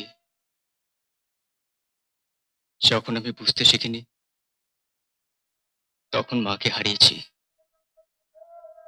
ভেবেছিলাম, বৌদি এলে সেই সেই অভাবটা পূরণ হয়ে যাবে। মার কাছ থেকে যা পাইনি, বৌদির কাছ থেকে সেই স্নেহ, ভালোবাসা আমি আদায় করে নেব। এখন মনে হচ্ছে? এর থেকে যদি জেলেই থাকতাম ভালো হতো। তুমি জেলে গেলে কেন? গেলাম কেন?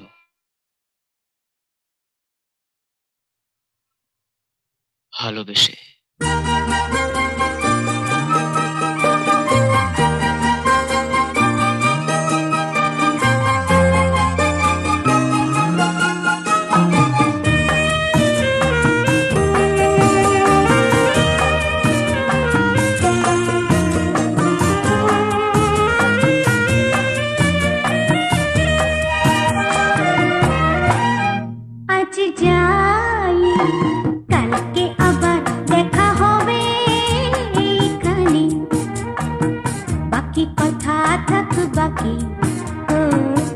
বাকি কথা থাক বাকি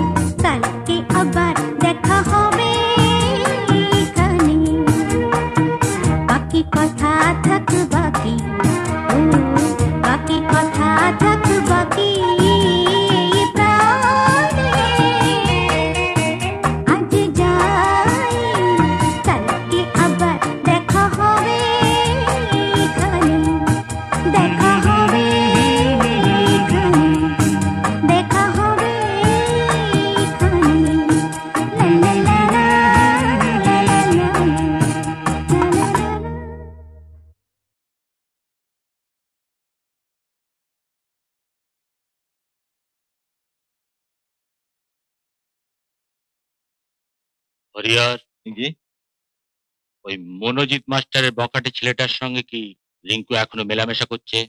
করছে হুজুর তার বেশি দিন করতে পারবে না। যাখানা মতলব আমি ঠাউরেছি ছেলের বাপই ছেলেকে থামাবে। আর রিঙ্কু আমার টেটটিও পাবে না। আপনার এক ঠেলে দুই পাখি কি মতলব?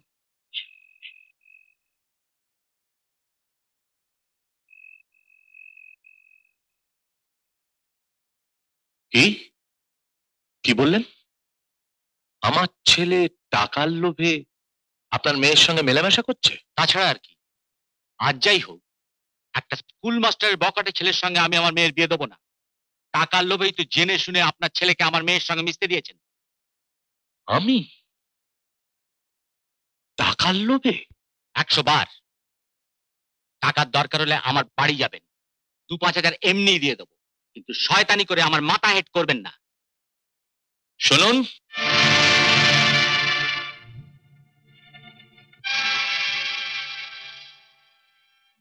আপনি নিশ্চিন্তে যেতে পারেন। আমি যখন জানলাম, তখন অরিজিৎ আর কোনোদিন আপনাকে বিব্রত করবে না। খুশি হলাম। তারপর আমার বাড়িতে এসে ভিক্ষের টাকাটাও নিয়ে যাবেন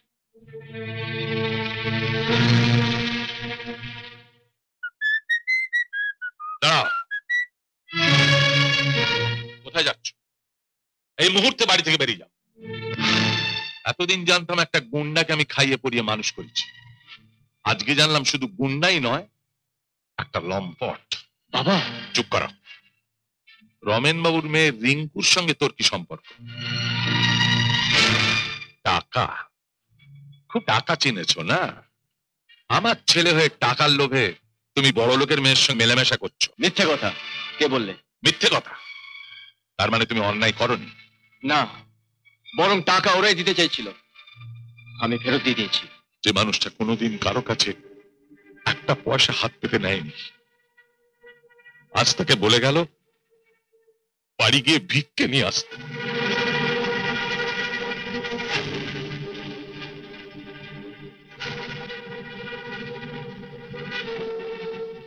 তোমার জন্য আমাকে আর কত অপমান সহ্য করতে হবে? उस्ताद पैसा लाए हो হ্যাঁ হ্যাঁ হ্যাঁ হ্যাঁ कितना है রবা দশ আগাম এই পাঁচ বাবা খেল শেষ হলে বাকিটা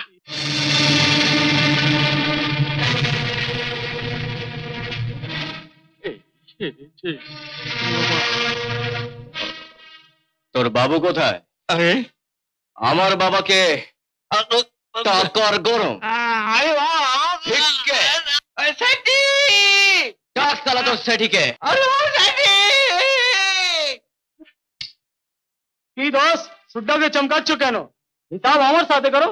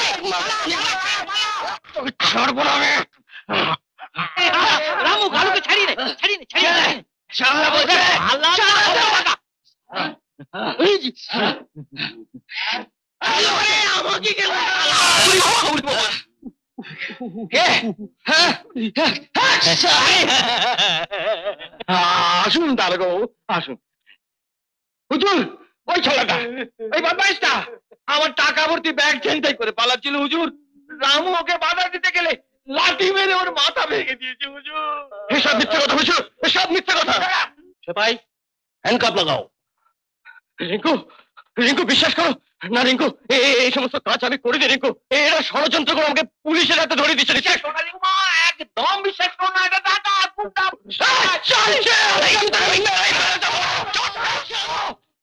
অরিজিৎ তোমার টাকার দরকার ছিল আমার বলতে পারতে? চল ইন্সপেক্টর চল ইন্সপেক্টর আমাকে চল ইন্সপেক্টর।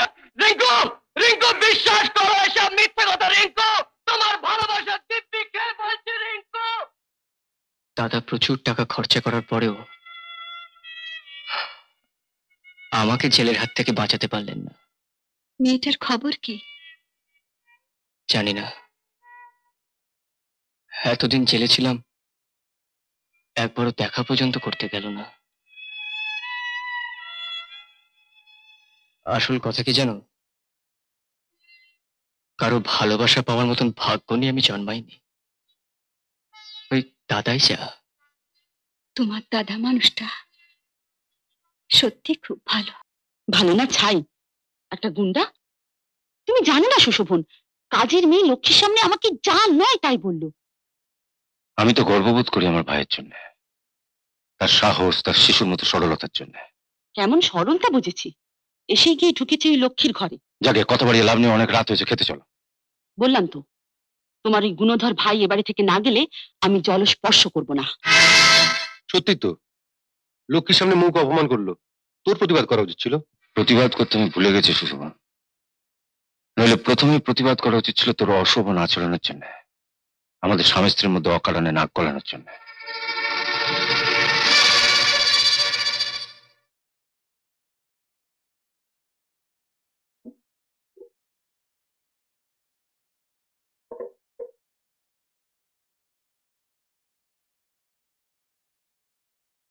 দিদিটাকে দেখে খুব কষ্ট হয়।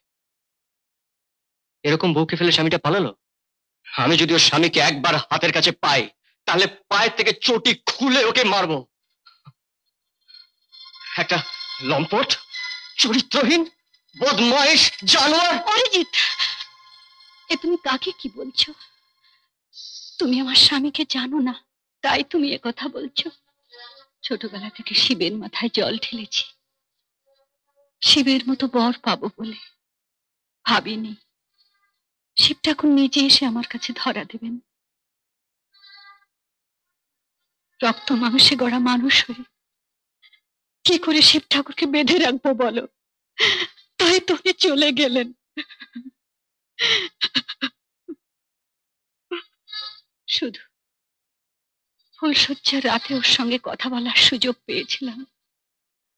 ওই একটা রাতের স্মৃতি মুখে নিয়ে আমি সারাটা জীবন বেঁচে থাকব, অরিজিৎ।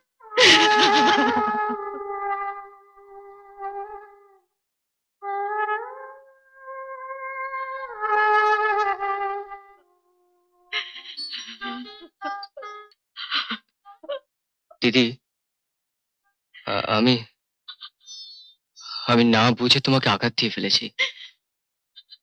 আমাকে তুমি ক্ষমা করে দাও।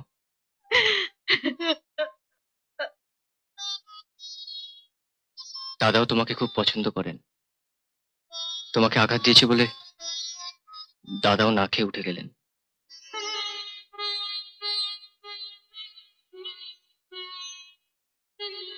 কি? কথা বলছো না যে? তুমি এখন আমার উপর রাগ করে আছো? চলো। তোমার শোয়ার ব্যবস্থা করে দিই। ও তার মানে তুমি ঘর থেকে তাড়িয়ে দিতে চাইছো? আসল কথা তুমি আমাকে এখনও ক্ষমা করতে পারোনি। না না। তাহলে বলো আমি তোমাকে একটা উপহার দেব তুমি সেটা নেবে? হঠাৎ উপহার? জেল থেকে বেরোবার সময় কিছু টাকা পেয়েছিলাম। ভেবেছিলাম বৌদিকে কিছু কিনে দেবো। তা বৌদিকে দিলে না কেন? বাবার দেওয়া উপহার যেইভাবে ছুঁড়ে ফেলে দিতে পারে যাকে সেসব কথা। বলো তুমি কি চাও? কি আর চাইব বলো? তোমার দাদা বৌদি তো আমার কোনো অভাব রাখেননি। না তবু তোমায় কিছু একটা নিতেই হবে। বলো তোমার কি চাই? যেটা তোমার সব থেকে পছন্দ সবচেয়ে বেশি প্রয়োজন সেইটাই আমি তোমায় দেবো। বললাম তো আমার কিচ্ছু চাই না। ঠিক আছে। ঠিক আছে মুখে বলতে না পারো। এক মিনিট। এই ডায়েরিতে লিখে দাও। ধরো। তুমি না একটা পাগল। বলছি কিছু চাই না? কথা বাড়িও না তো লেখো।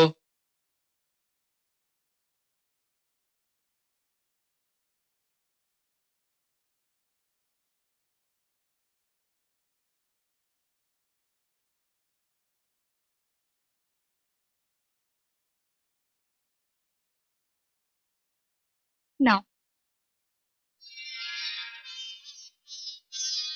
ব্যাস। শুধু একটা সিঁদুরের কৌটো। তুমি বললে না যে আমার সব থেকে বেশি পছন্দের জিনিস। যা সবচেয়ে প্রয়োজনে লাগে তাই চেয়ে নিতে। একটা মেয়ের জীবনে সিঁদুরের থেকে বেশি পছন্দের জিনিস আর কি আছে বলো? তোমাদের দুজনকার মধ্যে কত তফাৎ? তোমার স্বামী তোমার কাছে নেই? তবু তুমি তার মঙ্গল কামনার জন্য মাথায় সিঁদুর দিচ্ছ। আর যার স্বামী তার কাছে সেই বৌদি স্মৃতিতে সিঁদুর নেই।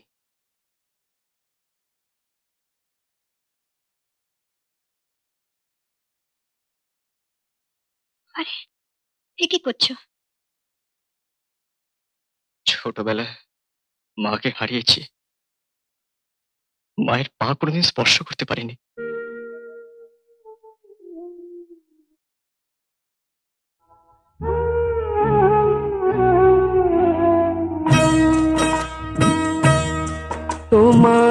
চোখে দেখেছি যে মায়ের স্নেহ ছায়া। তোমার চোখে দেখেছি যে মায়ের স্নেহ ছায়া। এমন মধুর ভালোবাসা কোথাও পাবো না। মাকে আমার মনে পড়ে না। তুমি আমার মা। তোমার চোখে দেখেছি যে মায়ের স্নেহ ছায়া।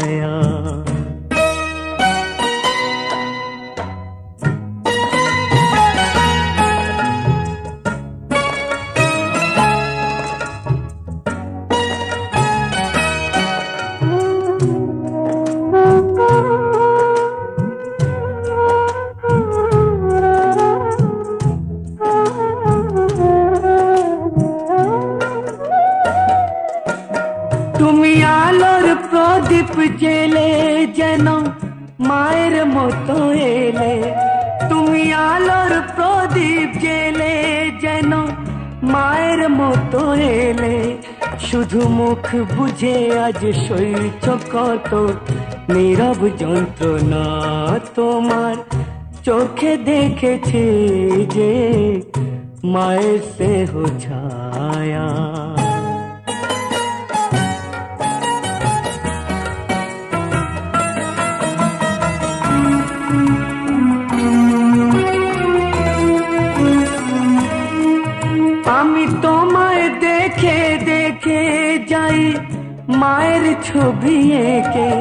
আমি তোমায় দেখে দেখে যাই মায়ের ছবি এঁকে তুমি যেন মোর চিরদিনের দুঃখিনী সে মা, তোমার চোখে দেখেছি যে মায়ের স্নেহ ছায়া।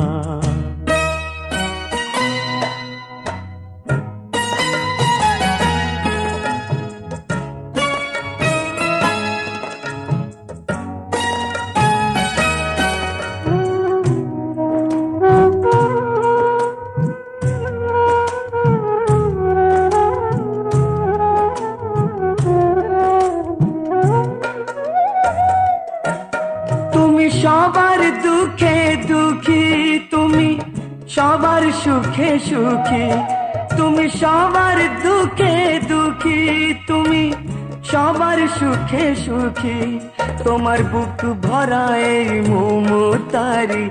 নেই যে তুলনা তোমার।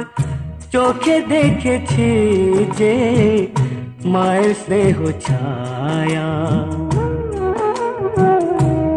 তোমার চোখে দেখেছি যে মায়ের স্নেহ ছায়া। এমন মধুর ভালোবাসা কোথাও পাবো না। মাকে আমার মনে পড়ে না। তুমি আমার মা। তোমার চোখে দেখেছি যে মায়ের স্নেহ ছায়া।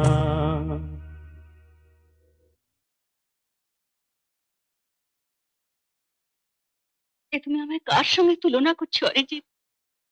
কোথায় তোমার মা? আর কোথায় আমি? ঠিকই তো বলেছি। দিদিও তো মায়েরই মতন।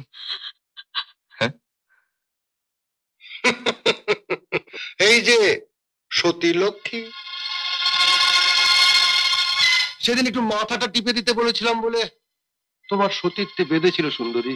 কিন্তু এখন দেখছি একটা বাচ্চা ছেলেকে অন্ধকারে পেয়ে ভালোই তো মাথা চিপিয়ে খাচ্ছ হ্যাঁ? সুষমন্দা তুমি আমার দাদার বন্ধু। তোমার কাছ থেকে এই ধরনের কথা আমি আশা করিনি। তোমার দাদার বন্ধু হয়ে তারই বাড়ির ঝিয়ের কাছ থেকে আমিও সেদিন এই ধরনের ব্যবহার আশা করিনি। তুমি যাকে ঝি বলছো তাকে আমি দিদি বলে ডেকেছি। আর আমার সামনে দিদিকে অসম্মান করো না। যাও। হুম? এসো দিদি। কেন? আমি না গেলে বুঝি তোমার দিদির কোলে চড়তে অসুবিধে হবে। কি বললে?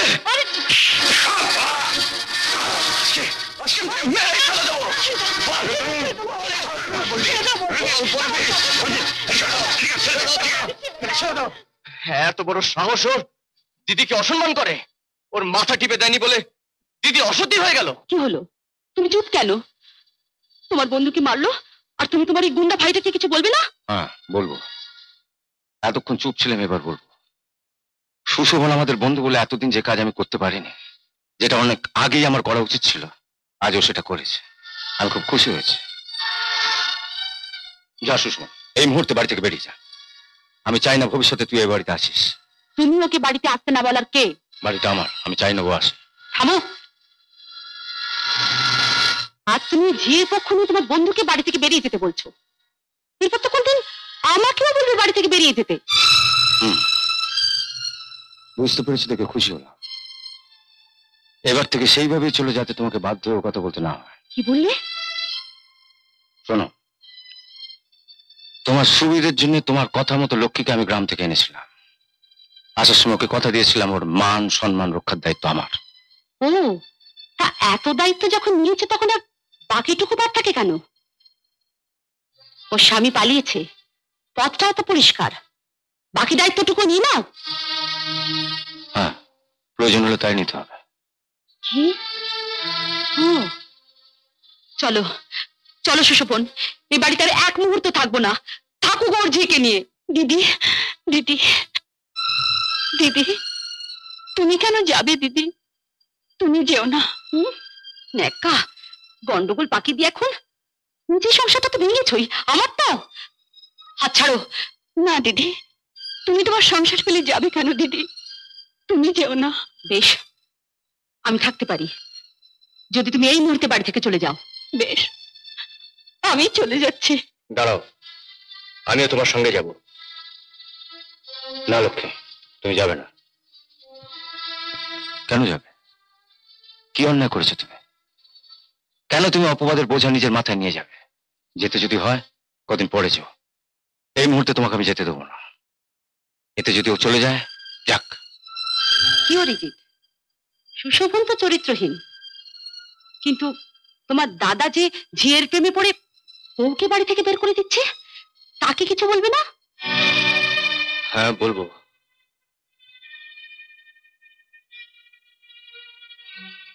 রাগের মাথায় ভুল বুঝে অনেক কথা বলেছিলাম। আমাকে তুই ক্ষমা করতে দাদা। বাহ! চলো শোভন এই বাড়িতে মানুষ বাস করে না। চলো। দিদি দিদি এ হতে পারে না এ হতে পারে না।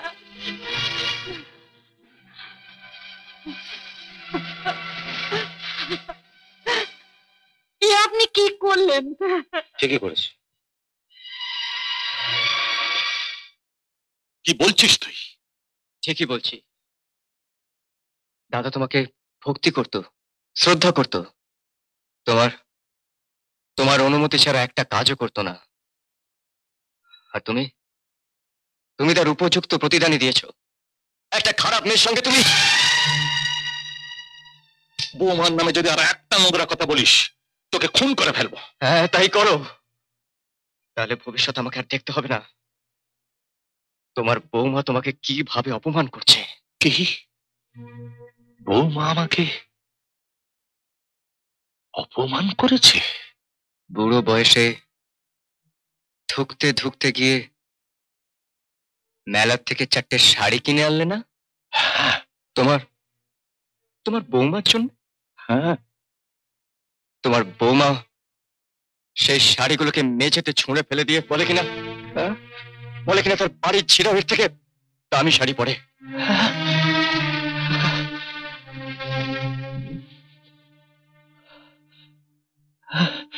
বৌমা আমার দেওয়া শাড়িগুলো ছুঁড়ে ফেলে দিয়েছে। না না না আমি বিশ্বাস করি না। তুই মিথ্যে কথা বলছিস। তোমায় মিথ্যে বলে আমার কি লাভ বাবা? তাহলে তাহলে বৌমা চিঠিতে সব মিথ্যে কথা লিখেছে। ও যে আমায় লিখেছে যে তোমার কথা আমার সবসময় মনে পড়ে বাবা। হ্যাঁ দাঁড়া, দেখাচ্ছি তোকে।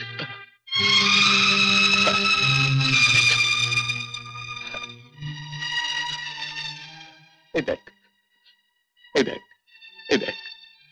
পর পর পর মন দিয়ে পড়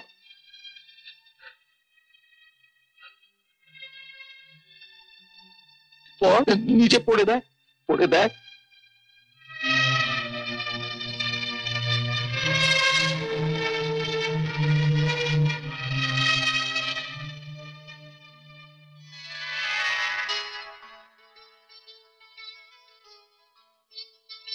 আমি কি এত বড় ভুল করলাম? না বাবা, ভুল তুমি করনি। ভুলটা বোধহয় ভুলটা বোধহয় করেছি আমি। আমি আসছি। কোথায় যাচ্ছিস? কলকাতায়। দেখি তুই? অরিজিৎ?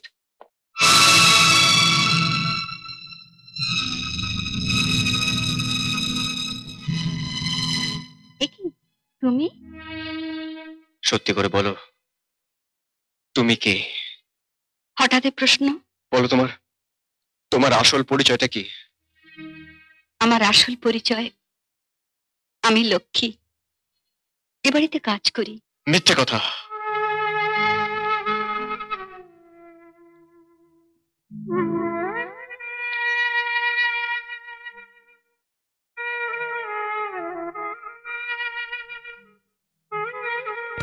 তুমি হিন্দু ঘরের স্ত্রী। এই সিঁথির সিঁদুর স্পর্শ করে বলো তুমি কে?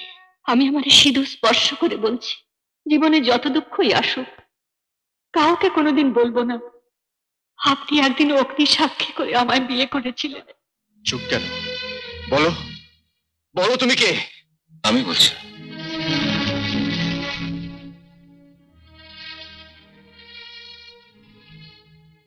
কাল রাত্রে খাবার তুলে বলছিলে না?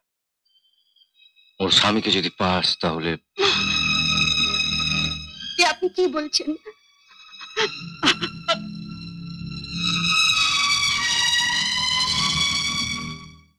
আমি যে করেছি বেশ করেছি।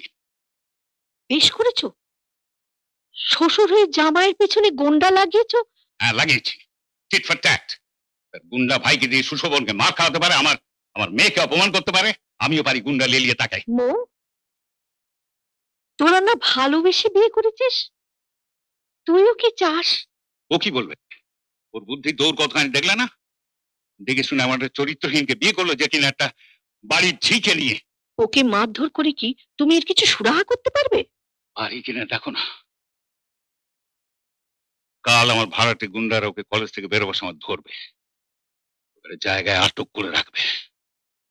সেই ফাঁকে আমি মৌকে নিয়ে ওদের বাড়িতে যাব। কাজের মেয়েটাকে আমি ঘাট ধরে বাড়ি থেকে বার করে দেবো। আমার কথা শোনো। বাপ হয়ে নিজের মেয়ের এত বড় সর্বনাশ তুমি করো না। ভাড়াটে গুন্ডাদের ওদের দয়া মায়া বলতে কিছু আছে? ওরা কে করতে কি করে ফেলবে শেষকালে সুরজিতের যদি একটা কিছু হয়ে যায়। হয়ে যায় যাবে? একটা সুরজিৎ যাবে হাজারটা সুরজিৎ আসবে।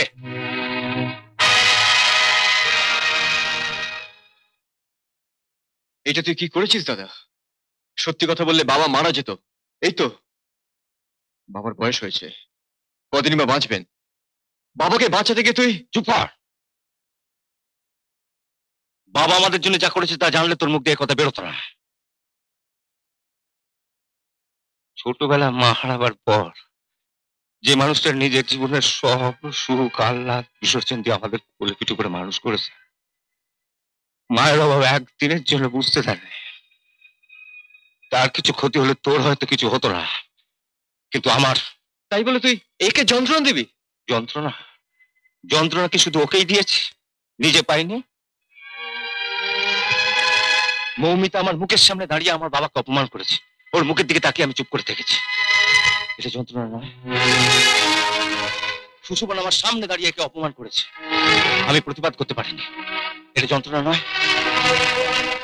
তুই আমার ছোট ভাই হয়ে আমার দিকে আঙুল তুলে কথা বলেছিস। আমি চুপ করে থেকেছি। এটা যন্ত্রণা নয়। একটা পুরুষ মানুষের কাছে এর চেয়ে বেশি যন্ত্রণা আর কি হতে পারে? কিন্তু দাদা, এই সত্যটাকে তুই বাবার কাছ কদিন লুকিয়ে রাখবি? আজ হোক, কাল হোক, বাবা ঠিকই জানতে পারবেন তখন কি তুই বাবাকে বাঁচাতে পারবি? না, ডাক্তার। আমার যেন কীরকম সন্দেহ হচ্ছে। দেখো দাদা বৌদির কাছে দু চার দিন কলকাতা থাকবে বলে অরিজিৎ গেল। তারপর একদিন বাদে ফিরে এলো। আবার হুট করে চলে গেল। উম, নিশ্চয়ই ওখানে একটা কিছু গোলমাল হয়েছে।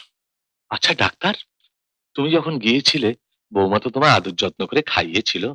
তাহলে অরিজিৎ এসে বলছে কেন যে বৌমা পাল্টে গেছে? ডাক্তার তুমি আমাকে উত্তেজিত হতে বারণ করো। এখন তুমি আমাকে উত্তেজিত করছ নিজে চুপ করে থেকে। চুপ করে থেকো না। বলো না। বলো না ডাক্তার। তোমার বৌমা পাল্টে গেছে কিনা জানি না দাদা। কিন্তু তোমার ছেলে সুরজিৎ অনেক পাল্টে গেছে। সুরজিৎ? সুরজিৎ পাল্টে গেছে? ওকে।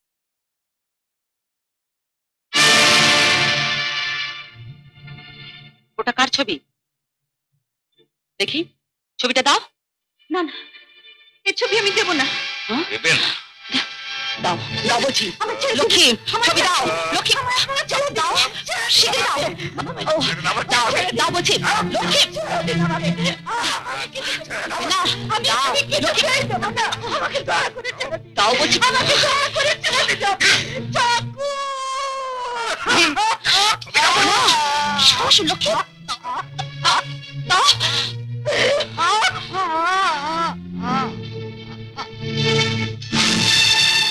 তাহলে এত দেখেছ বাবা? নিজের সর্বনাশ করে এখন আমার সর্বনাশ করতে এসেছে। ছেলে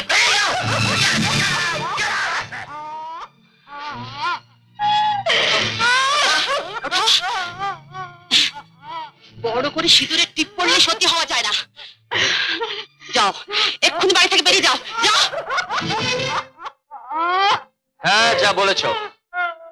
সত্যি হতে গেলে কুমারী সেজে বেলবটস পরে বয়ফ্রেন্ডকে বগল দাবা করে ঘুরে বেড়াতে হয় তাই না? ছেলেটিকে? ও সেই জেল ফেরত গুন্ডা ভাইটা। বাকিটা বললে না?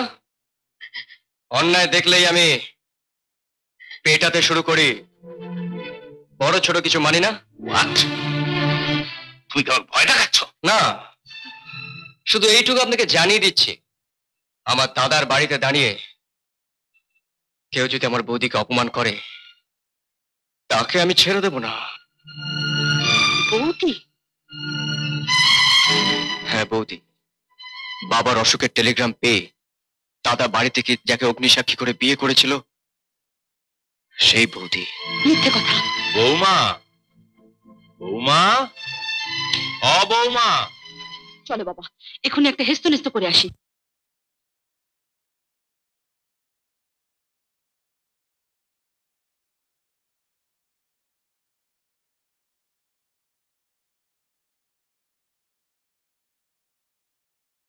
ওই মেয়ে ছেলেটি কে ভদ্রভাবে কথা বলুন। আমার মেয়েকে আপনি মেয়ে ছেলে বলছেন কেন? ডাক্তার? উনি হঠাৎ চটে গেলেন কেন? আমি কি কিছু ভুল বলেছি? মেয়ে হয়ে ছেলের পোশাক পরেছে। আধা মেয়ে আধা ছেলে। তাই আমি বলেছি মেয়ে ছেলে। তুমি আগে আমায় ঠিকই বলেছিলে ডাক্তার। সুরজিতের কিছু পরিবর্তন হয়েছে। নইলে এই অসভ্য বিদকুটে পোশাক পরে মেয়েটা এ বাড়িতে ঢোকে কি করে? আপনার কি ভীমরতি হয়েছে? আপনি আপনার নিজের ছেলে বউকে বলছেন? ছেলের বউ? কি বলছে ডাক্তার? আরাম জাদা আমি ঠিক জানি তুই একটা কেলেঙ্কারি করবি। এই দিদির বৈশাখটা ফিরিঙ্গি মেয়েকে বিয়ে করে এই যাতা বলছেন আমার মেয়ে ওর বউ হতে যাবে কেন? আপনার বড় ছেলে সুরজি তাকে বিয়ে করেছে। কি বাজে কথা বলছেন? সুরজিৎ সুরজিৎ একে বিয়ে করেছে? এ কি বলছে বৌমা?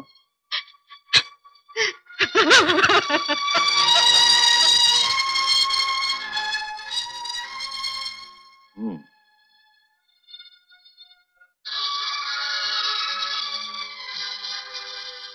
সুরজিৎ ওকে কবে বিয়ে করেছে? আপনার অসুখের খবর পেয়ে যেদিন গ্রামে গেল সেই দিন। আমি জানলাম না। ও বিয়ে করে ফেলল? তা বিয়ে করেছে তো? ওর মাথায় সিঁদুর কই? আমি সিঁদুর পরা পছন্দ করি না। ও মেয়ে হয়ে তুমি সিঁদুর পরা পছন্দ করো না। প্যান্ট পরা পছন্দ কর। আসল কথাটা কি জানো ডাক্তার? সিঁদুর তো মাত্র এক টাকা দিলে বাজার থেকে কিনতে পাওয়া যায়। কিন্তু কজনের ভাগ্যে জোটে সেই সিঁদুর মাথায় তোলার? তা বিয়েটা হয়েছে কোথায়? রেজিস্ট্রি অফিসে। রেজিস্ট্রি অফিসে? ওটা আবার বিয়ে নাকি? কেন? রেজিস্টারের সামনে কাগজে সই সাবুত করে। কাগজে শৈশাবত ও ডাক্তার বলে কি? আরে মশাই কাগজে শৈশাবত করে জমি জমা কেনা বেচা হয়। ও মেয়ে কেনা বেচা হয় না। না না না না। তাছাড়া আমাদের মতো বৌমা তো কেনা বেচার কথাই আসে না। অবশ্যই যাদের মেয়ের বিয়ে হয় না তাদেরই কেনা বেচা হয় হুম। কি সব যাতা বলছেন আপনি? ও ঠিকই বলেছে। সুরজিৎকে ভালো মানুষ পেয়ে শৈশাবুত করে মেয়েটাকে যেমন এ বাড়িতে গচিয়ে দিয়ে গেছেন ঠিক তেমনি শৈশাবুত করে মেয়েটাকে আবার নিজের বাড়িতে ফেরত নিয়ে যান। ওসব রেজিস্ট্রি ফেস্ট্রি আমি মানি না। হ্যাঁ তাই নিয়ে যাব। এমন বাড়ি বউ হবার জন্য আমার মেয়ে জন্মায়নি। এই এই যে কথাটা আপনি বললেন চমৎকার বলেছেন। আপনার মেয়ে এ বাড়ির বউ হবার উপযুক্ত নয় এটা যে আপনি বুঝতে পেরেছেন এই জন্য আপনাকে অজস্র ধন্যবাদ। ননসেন্স ঠিক আছে। ঠিক আছে। আমি আমি আপনাদের দেখিয়ে দেব কত বড় ঘরে আমার মেয়ে বিয়ে দিতে পারি আমি। চলে আনো!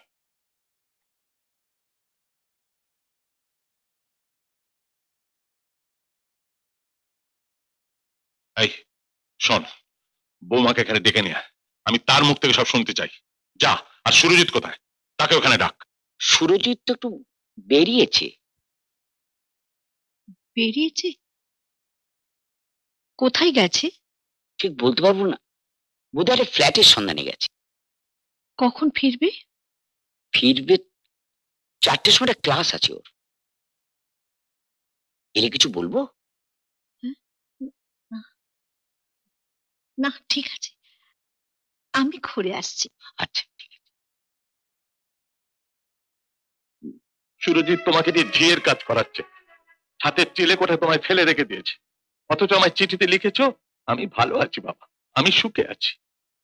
নিজের দুঃখ পাচ্ছ, রাতের পর রাত চোখের জল ফেলছো। অথচ আমার সত্যি কথাটা লিখে জানাওনি। পাছে আমি কষ্ট পাই। এই বুড়ো মানুষটাকে তুমি দয়া করেছ না? বাবা। এবার আমি বুঝতে পারছি। কেন সুরজিৎ আমাকে এ বাড়িতে আনেনি? কেন আনতে চাইনি বৌমাকে দিয়েছে। ছিয়ের কাজ করাচ্ছে। পাছে আমি জেনে ফেলি। তুমি কেঁদো না বৌমা। তুমি কেঁদো না। তোমার চোখের এক হাত ফোঁটা জল ওর জীবনে অভিশাপ হয়ে নেমে আসবে। হ্যাঁ। কেঁদো না মা। কেঁদো না।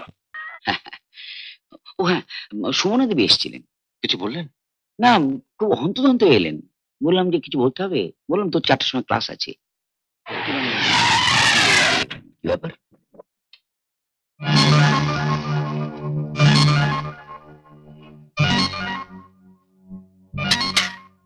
সুজিত চুপচাপ গাড়িতে ওঠো। চলো। চল চল গাড়িতে ওঠ। সুজিত যাবি না যাবে না ট্রেন সালার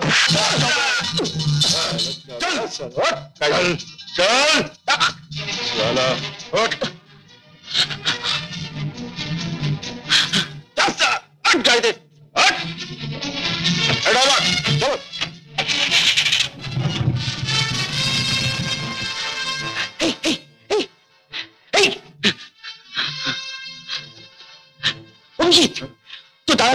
দাদাকে গুন্ডারা ধরে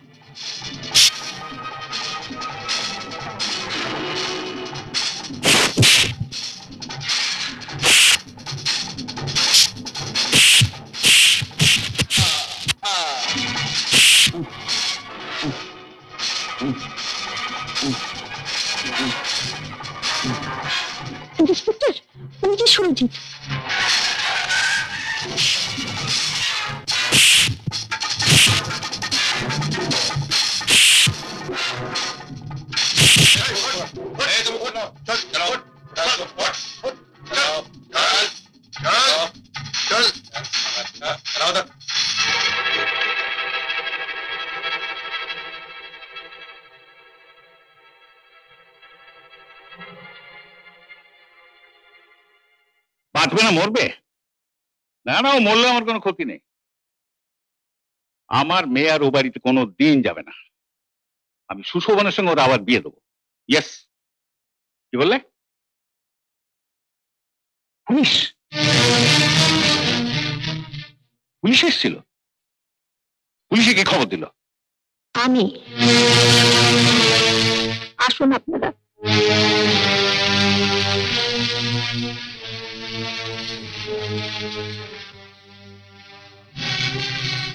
মা? শেষকালে তুমি?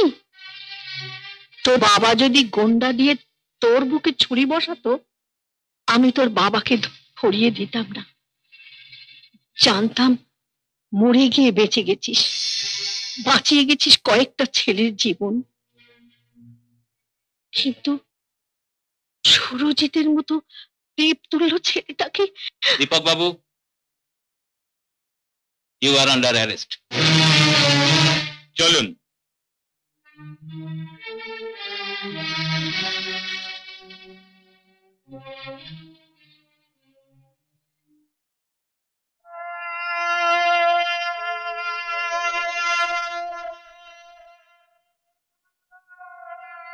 বৌমা বৌমা কেঁদো না মা। কেঁদো না। এটুকুর পাওনা ছিল। ঘরের লক্ষ্মীকে লক্ষ্মীর আসনে না বসিয়ে হাঁসটা করে ছুঁড়ে ফেলে দিয়েছিল। এর প্রায়শ্চিত্ত করতেই হবে। শোনো মা। মা গো। বৌমা আসুন মা। সুরজিৎ কেমন আছে? ভালো আছে। একটু দেখা করা যাবে না? এখন রক্ত দিচ্ছে। ও তুমি এক কাজ করো বৌমা, আমি কালীঘাটে গিয়ে পুজো দিয়ে এসেছি। এই প্রসাদী ফুলটা ওর মাথায় ঠেকিয়ে দিও।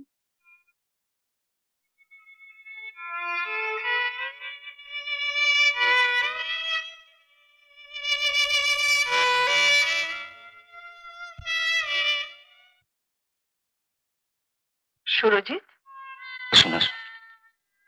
তুমি ওটা তো আমি সাজাবো। তুমি ওটা কেন? তুমি আমার বৌমাকে চন্দন পরাবে কেন? বৌমা কি তোমার একলার আপনার দুজনে উঠুন তো। উঠবো। এবার আপনার উঠুন। আমি থাকতে আপনারা মা লক্ষ্মীকে সাজাবেন কেন? মায়ের কাজ মাকে হ্যাঁ ঠিক বলেছেন। মায়ের কাজ তো মায় করবে। তুমি কেন? ওটো ওটো দাঁড়া দাঁড়া উঠছি। হ্যাঁ ওটো হিংসুটে কোথাকার? আবার হিংসুটে বলছি। আমি সাজাচ্ছি। আপনি ততক্ষণ একটা কাজ করুন তো। এটা নিন। এটা আবার কি? এটা ও ডাক্তার এসো তো। এটা তো একটা ফর্ম দেখছি। এটা তো একটা ডিভোর্সের ফর্ম ডিভোর্সের ফর্ম হ্যাঁ। বাড়িতে লক্ষ্মী প্রতিষ্ঠা করতে গেলে অলক্ষ্মীকে তাড়াতে হবে না। আমার মেয়ে যাতে এই বাড়িতে আর কোনো দিন ঢুকতে না পারে।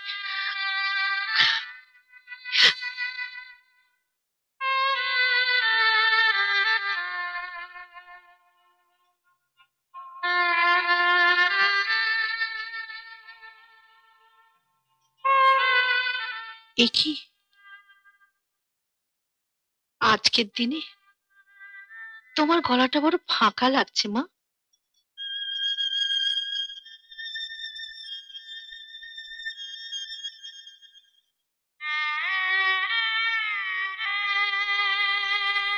আপনি কি করছেন, মা? ছেলের বউকে মা হয়ে কি খালি হাতে আশীর্বাদ করব?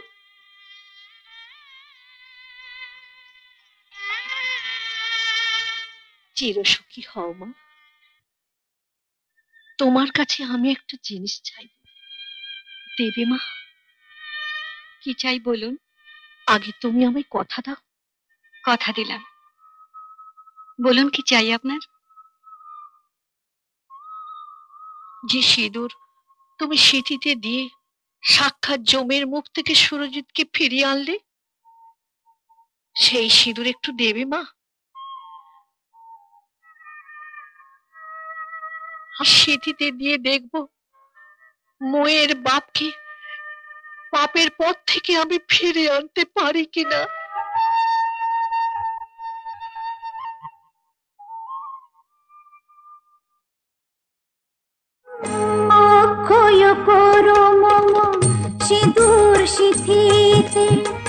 বুক যেন ভরে প্রেমার প্রীতিতে। অক্ষয় করো মম সিঁদুর সিথিতে। বুক যেন ভরে থাকে প্রেমার প্রীতিতে। পথ খুঁজে ফিরে তাই